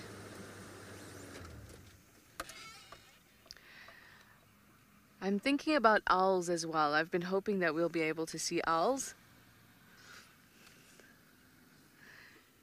Particularly a pearl spotted owlet. I've been hearing them all the time, but I haven't been able to see them. And actually, in this particular spot, uh, what did we see? We had two chameleons. Was I with you, Impo? And the one, the owl came and grabbed the one chameleon. You it was a very sad time. It was. Two animals I love to see at night, and unfortunately, they are enemies. Alright, let's head on down.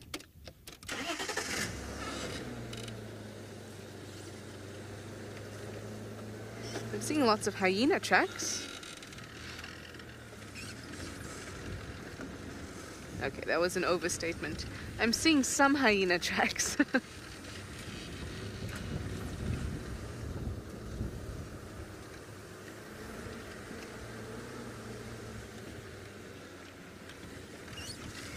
they were around the edge of the road, the part that's not driven very often, so it could be old. It's also a little protected from the wind at the edge. It would make sense because down that way was where Tlalamba was over the last few days. I did check that tree again, by the way, just in case. Sometimes you never know, they might just hang around near where they had the kill. But she was she was not there. Plus we had tracks for her going past the camp and further. I think Tess was following following up further south.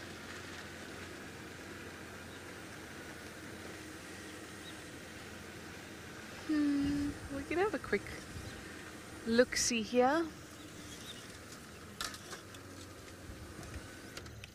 Nothing happening though.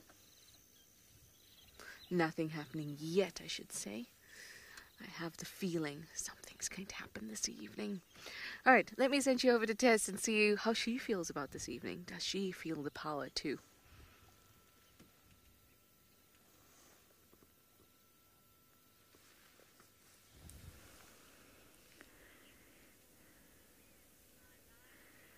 Oh, thanks, Trish. I hope you're enjoying the peace and quiet of the dam and that you get spoiled with a nice surprise. I'm feeling pretty good about the evening. It is still pretty windy. You can see this big spider web kind of blowing away. now, luckily, it is at the bottom of the tree. The ones at the top are going to be struggling a lot more. And there are actually others in this tree, but they're a little bit higher up. This one isn't looking very active but I think it could be because it's not dark enough yet. It's a community web spider's nest, and when I saw it, the first thing that came to mind is one, I haven't shown you a spider web in a while. I think the last one I showed you was covered in dew at Amakhala on a beautiful frosty morning.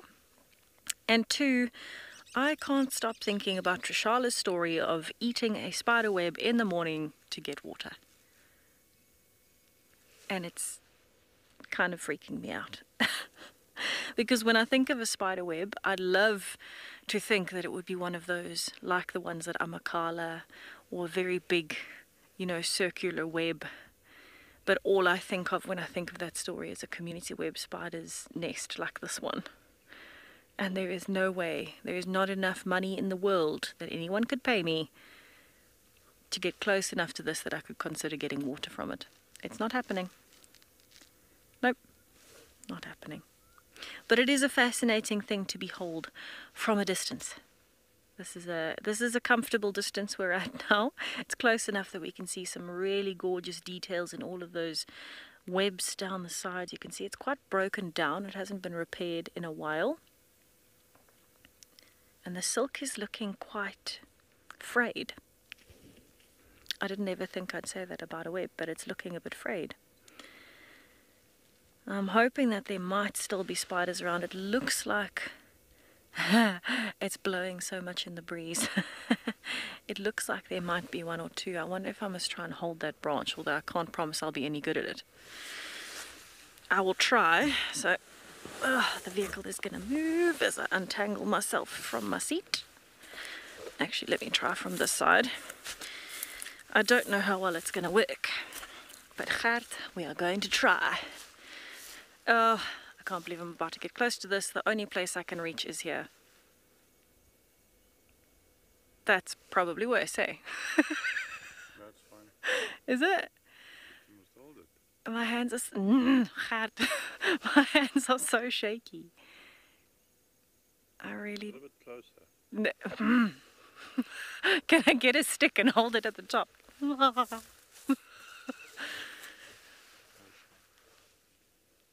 Oh no, it's not gonna work. oh, alarm! well, I really don't want this thing to come alive with spiders right now, but I suppose it is fascinating to look at.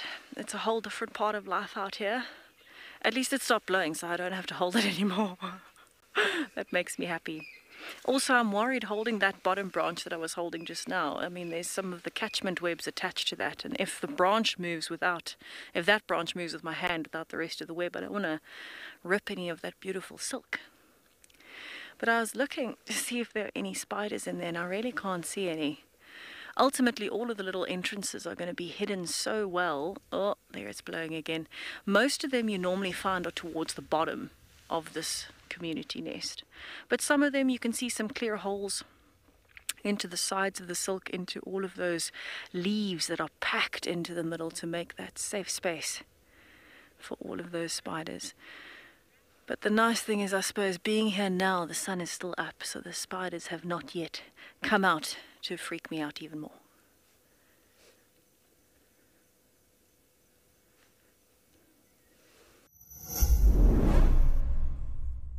Do you love relaxing at a waterhole with the sights and sounds of Africa all around you? Well, we have some really exciting news for you. From August 1st, Africam is joining forces with WildEarth to bring the majesty of Africa right into your living room with nine incredible new waterhole cameras from across South Africa and Kenya. Get ready to embark on a new journey. This is Live at the Waterhole.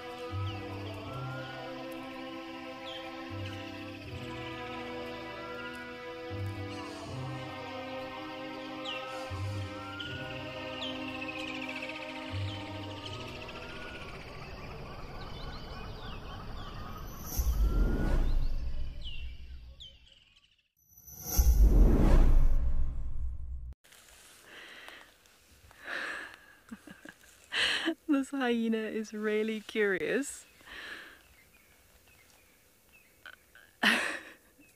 Doesn't really know what it wants right now.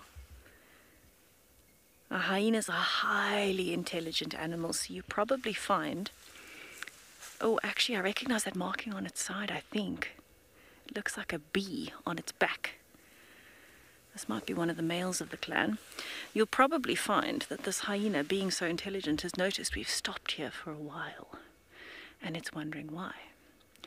Also, bear in mind I was out of the car looking at the spider's web.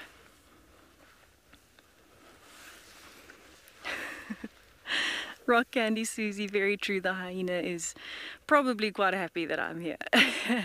I'd like to think that much, but I really don't think that that is the case, as you can see by it walking away. Came to investigate, was kind of happy to see us, and then decided, eh, there's nothing here for me. I'm gonna leave. Totally fine by me. Doing a bit of a loop. Oh, there we go, it is. So it's cacao. Cacao is probably one of the less seen hyenas in the clan at the moment. That's really cool. Another hyena to add to my list that I've seen so far. Bye, hyena.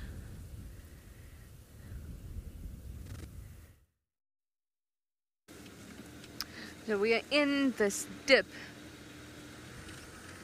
where there possibly could be some Verreaux's eagle owls. To me, just give a quick look around uh, before they left. But they said it's quite obvious and it's on, it has to be on one of the big trees and I don't see them. I would love to spend some time with the Verreaux's eagles. There was a pair of Verreaux's eagles, uh, Verreaux's eagle owls in that tree that Tlalamba had to kill, that big jackberry that we've been spending time at these last few days. There were two big Verreaux's eagle owls there. I mean, years ago. Nothing, nothing.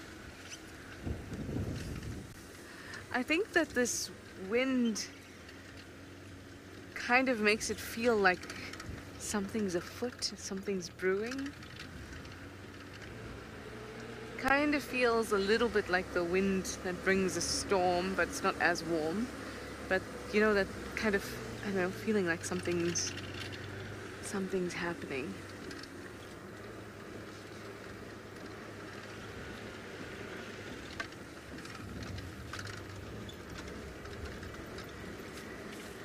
And yes, of course, I do have my eye out for chameleons, as usual. Hmm. What do I think is going to happen? I don't know. I can't speak to that. I just feel like something's going to happen.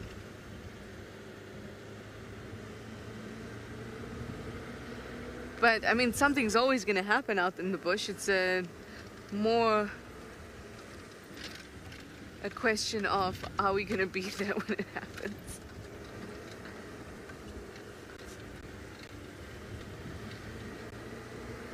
So this road that I'm on right now is a road that the old hyena dens used to be on. It's called Taxon's Road. It leads straight to a dam. And the reason I like this road is because both leopards Xidulu and Tlalamba used to use this road. It was almost like the boundary of their territories. There was a time where every single morning I would see tracks for one of them on this road.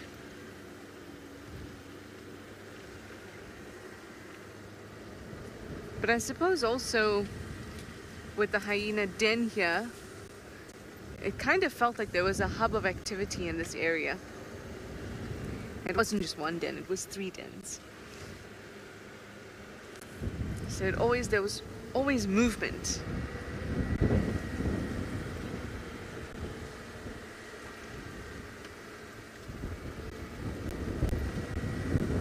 Now things are a lot quieter along this road.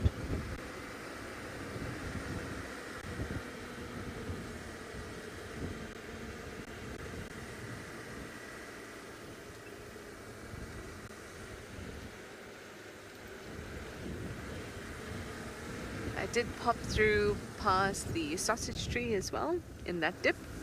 See if there were any bats going to work on it. Not as far as I could see, unfortunately.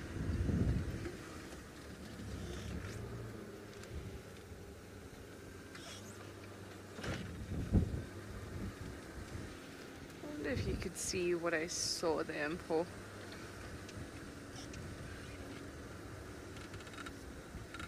Oof, this is going to be such a weird angle.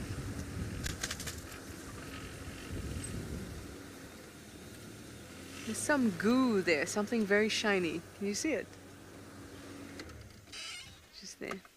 Wedge, you'd like to know what the time is in South Africa? Wait, let me check exactly. It is 6 o'clock, 6 p.m. Exactly. So, sorry, Empoy, if you look with your eyes, you'll see it's a shiny thing there. Yeah, it's just stuck on the on the branch. There we go. What are you? It is so so shiny. I'm gonna hop off and have a look. Sorry, I don't want to um, be in your in your way. There we go. What are you? Ah, it's just a little bit of um, what is the word I'm looking for? it's just escaped me. Resin. It's like just a bit of resin that's come out. Interesting. I'm not sure I've ever seen it on a variable bush willow, perhaps a large fruited bush willow. It's hard to tell with so little leaves. So, plants will produce resins and latex and that kind of thing uh, to heal wounds. So maybe it had a bit of a wound there or a little bit of an infection. Maybe it even got stung by something. Then it will start to ooze. Mostly latex, depending on which type. It can be a latex to heal wounds, it can be a latex to produce uh, poisonous substances. It can be any of those things. It'll be to help the plant along, whether it's help it heal or defend itself in some way. Very cool. Anyway, let me send you back over to Tess. I'm going to keep on moving towards the dam.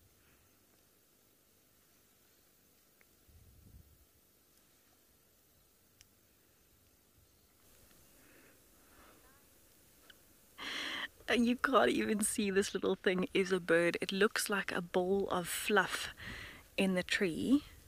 Unbelievably cute. Curled up on this little branch. Now, I know you can't see colors right now because we're in infrared, but it looks like it's a female chin spot batis. And I'm saying that because when we spotted it, we spotted it because of the very rufous color just below the head. Now it's tucked away really tightly, tucked its head in, and you can just see the little feet clinging onto this gorge in the night. Now, chinspot batises are really well known for perching on low hanging branches, usually about a meter off of the ground, and that's exactly where this little one is. Safely perched, nice and tucked away and hidden by the greenery. Now, if you're not familiar with a chin spot batis, it really is an absolutely tiny bird. We're talking just over 10 centimeters, an adult maybe about 13, and weighing about 12 grams. So you can see why the leaves would cover the entire thing. We just got lucky and happened to spot it in a gap. It's so little. So she's probably going to be roosted here the whole night trying to keep herself safe, and she's doing a great job because she's very well camouflaged. Wow, look at that. So the markings on her feathers actually help a bit because from this distance you cannot even see her. Look how well she blends in.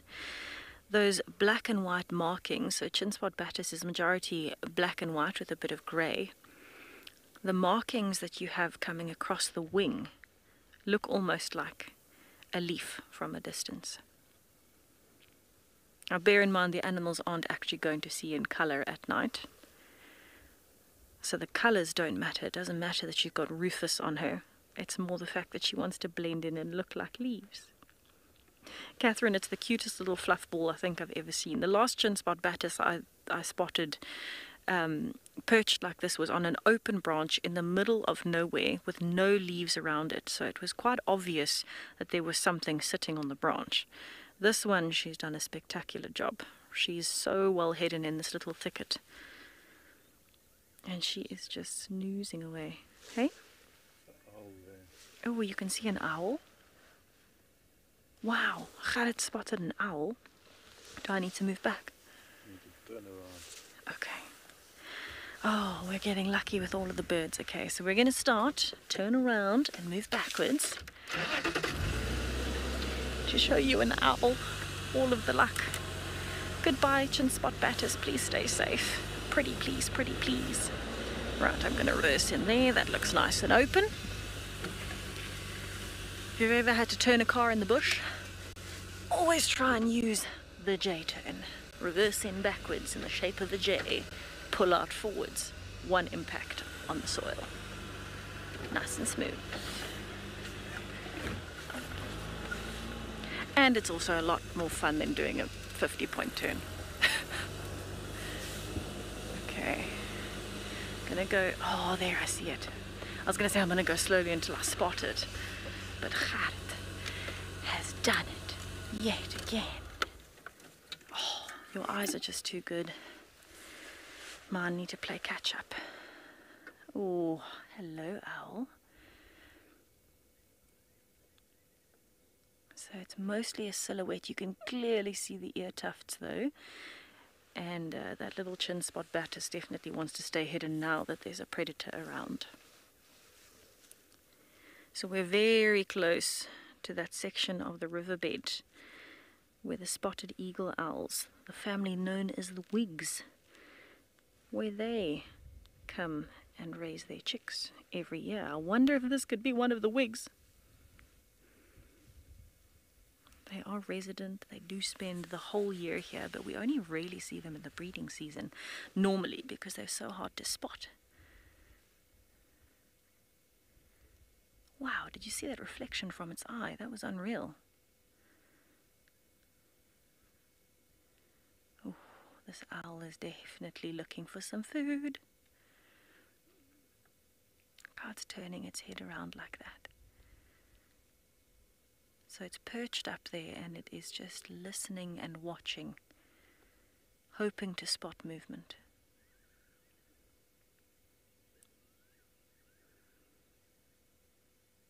Oh, look at those eye shines. That's unreal. I think this must be one of the wigs.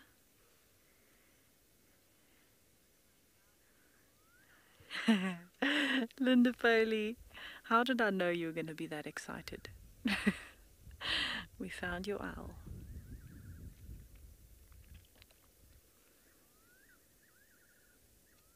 There's a lot of calls around us. Fiery neck nightjars. I heard a pearl spotted owlet earlier. And the wind is fairly calm in this section. Just a slight rustle through the leaves every now and then. A great spot to be hunting. You see, it's chosen a very open branch, which is perfect to drop down on your prey unsuspecting, unsuspectingly.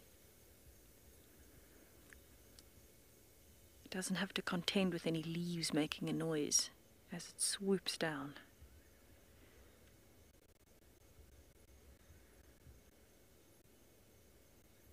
It also means it's got a great field of view. Remember, owls can turn their heads to about 270 degrees. So this owl, from looking forwards, can look all the way backwards and past backwards, round to the left or round to the right.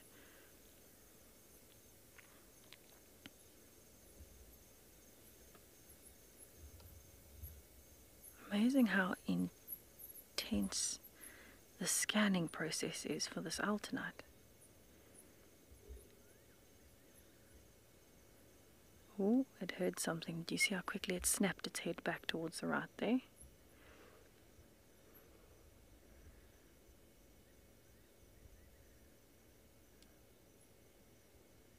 Oh, I love that eye shine.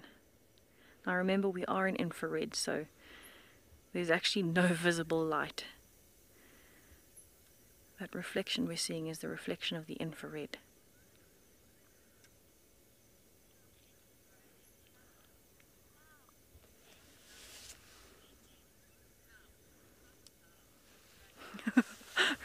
in trouble. You're wigging out. Very nice. Very good one. oh my goodness. I'll have to catch you later then. Ha ha. Back at you.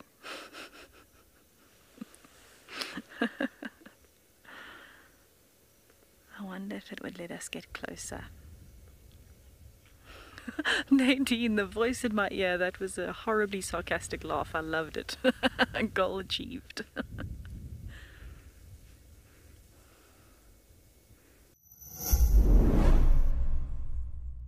Did you hear? The schools are out. Yep, it's time for the school holidays, and WildEarth is celebrating with special content just for kids. Join us from the 21st to the 25th of August for five days of fun. Our guides will be taking on a number of survival tasks, and together we'll learn how to survive in the wilderness, build things, and have fun in the wild too. WildEarth Kids, it's in your nature.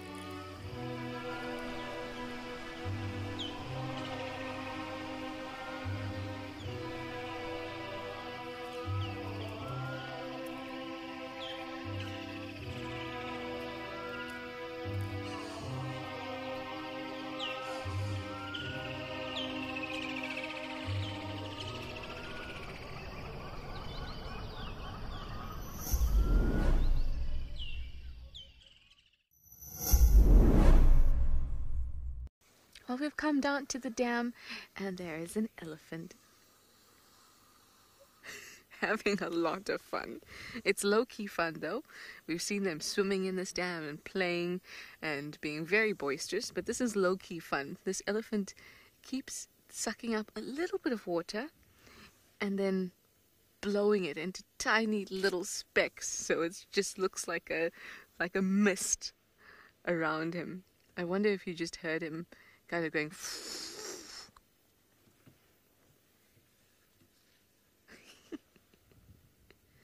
I do hear other elephants, or I did hear other elephants around in the distance. I heard the breaking of branches. But this guy's just on his lonesome, enjoying a quiet moment. Can you hear the fiery neck nightjar in the background? Saying, Good Lord, deliver us. But I always remembered it as, Hello, good looking.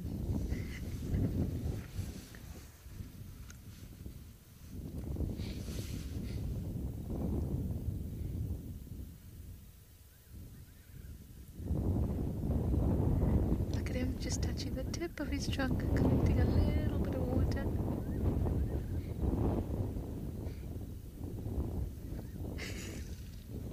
and then dropping it.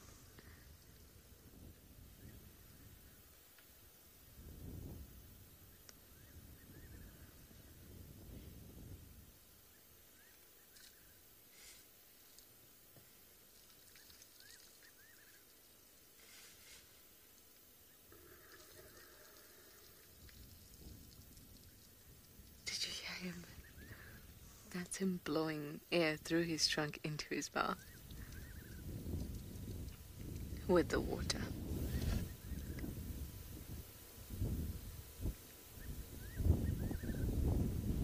Oh, this is such a beautiful evening set right here.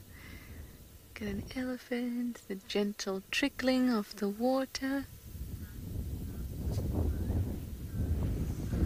I got the fiery nightjar in the distance calling. I love that sound. I think a lot of you do too. For me, that's the sound of nighttime at Djuma.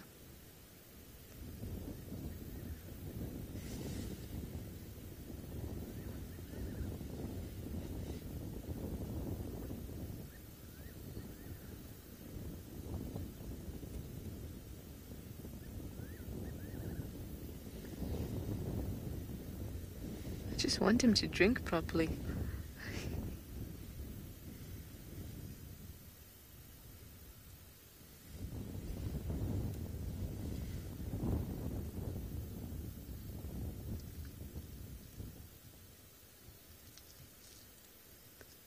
He's so relaxed, and this feels so peaceful.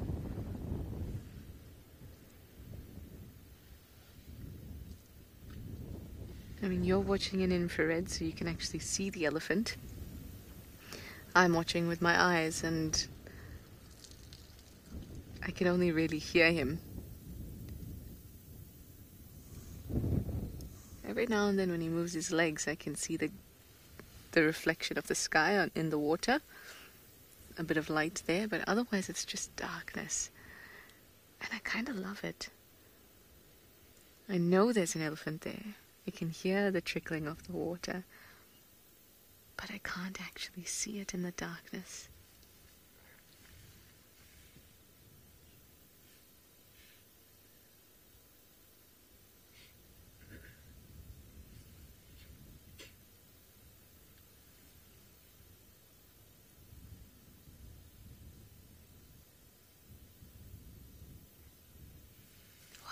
Was a wonderful moment of just peace and quiet.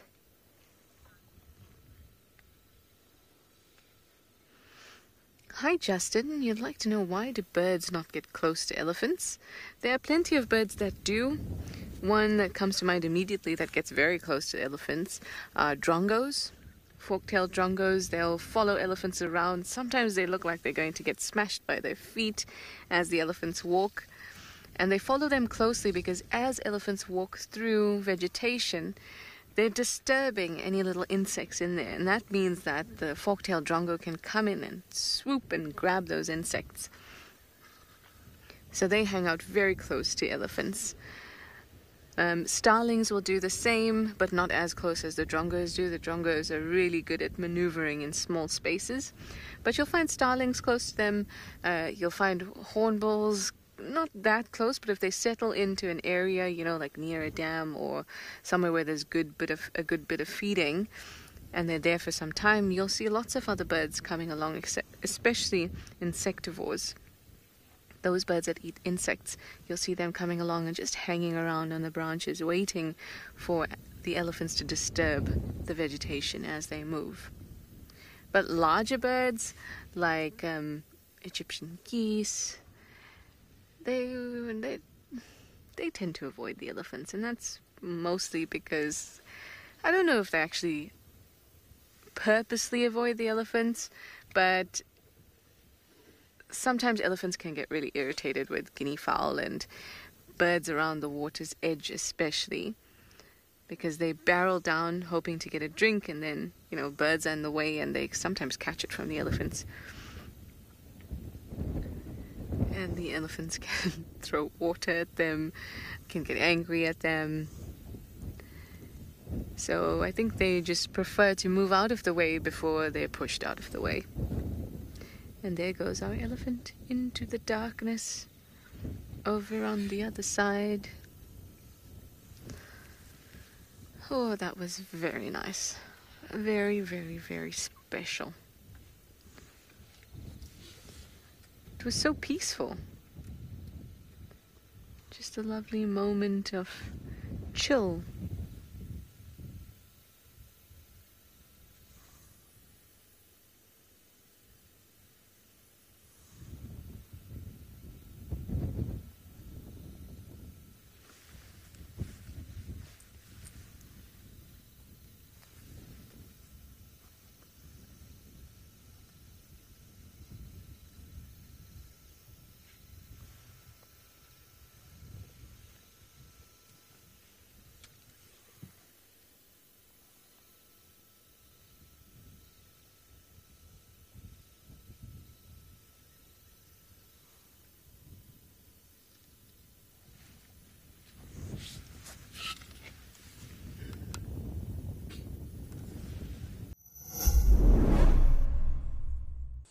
Get ready for your daily dose of African wildlife magic. Be enchanted by the intimate moments shared by the animals as they drink, play, and interact in their natural habitat. With our daily wildlife videos, you'll experience the thrill of safari adventures without ever having to leave your seat. Let the wild adventure unfold right before your eyes. Africam, always live, always wild.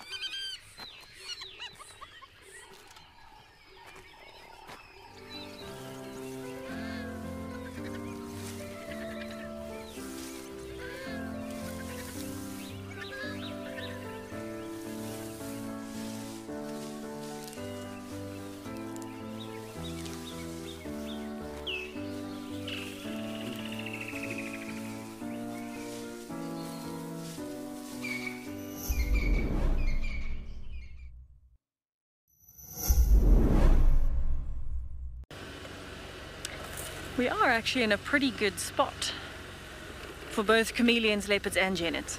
All the things on my list.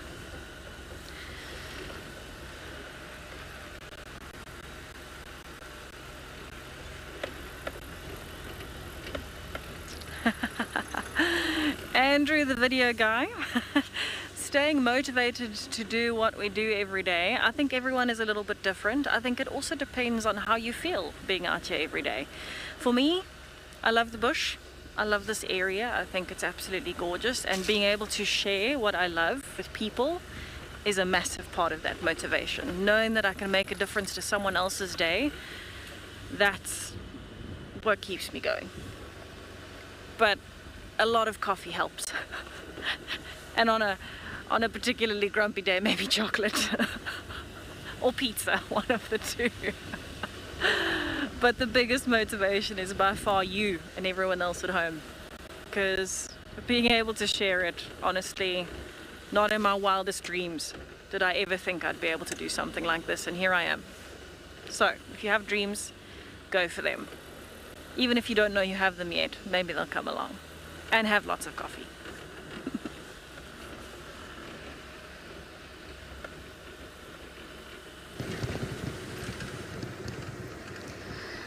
Well, the hunt is on. Yet again, the last five minutes together or so. What could be the last minute animal? it's always a fun game to play. I must say I'm quite happy to have spent it that time, even though it was in the dark with the elephant.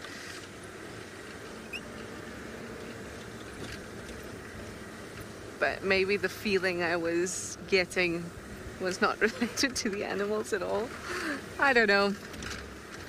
Maybe I was hyping myself up. Whatever it is, even though it was a quieter afternoon out in the bush this afternoon for sunset safari, it was still good nonetheless. I always enjoy my time out with all of you.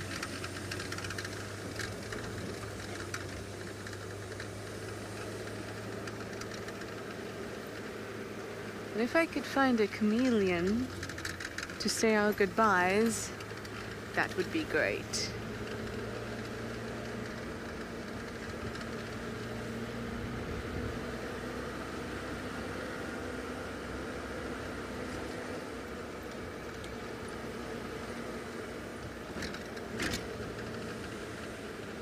Maybe we'll find out what big thing I was feeling in the morning.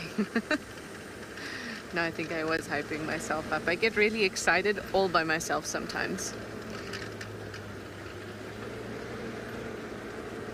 That's true. Nadine, our director, says you never know. There's three minutes left.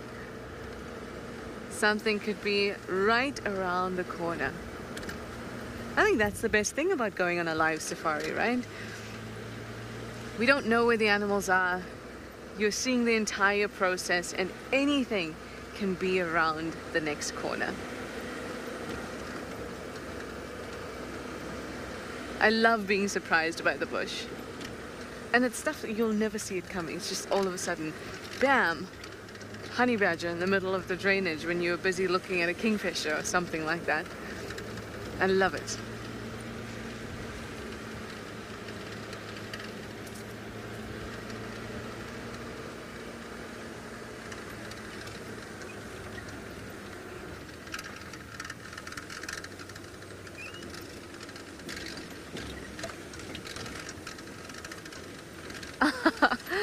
Bella, you say please can we see a, a last minute impala? Oof.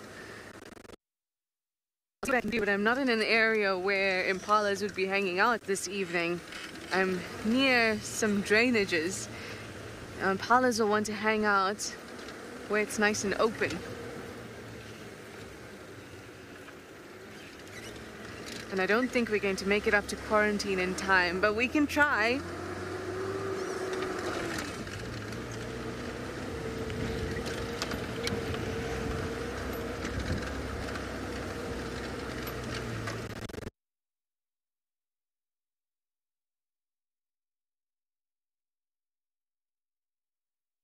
It was a great day again, and thank you. Thank you, Dave. Thank you, Ching, coming on board and getting to know us and the animals as often as you do.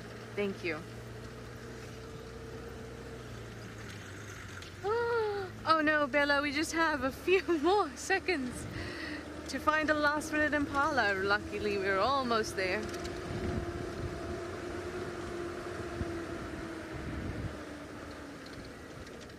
Okay, maybe we're not almost there. There's still a bit of this road to go. Oh well.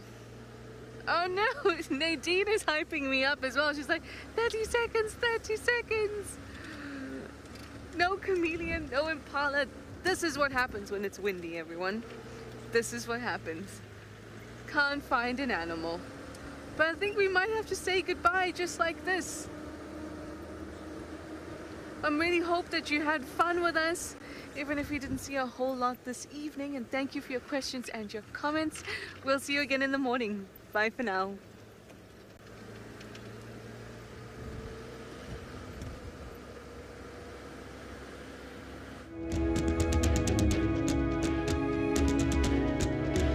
program features live coverage of an African safari and may include animal kills and carcasses. Viewer discretion is advised. Thank you.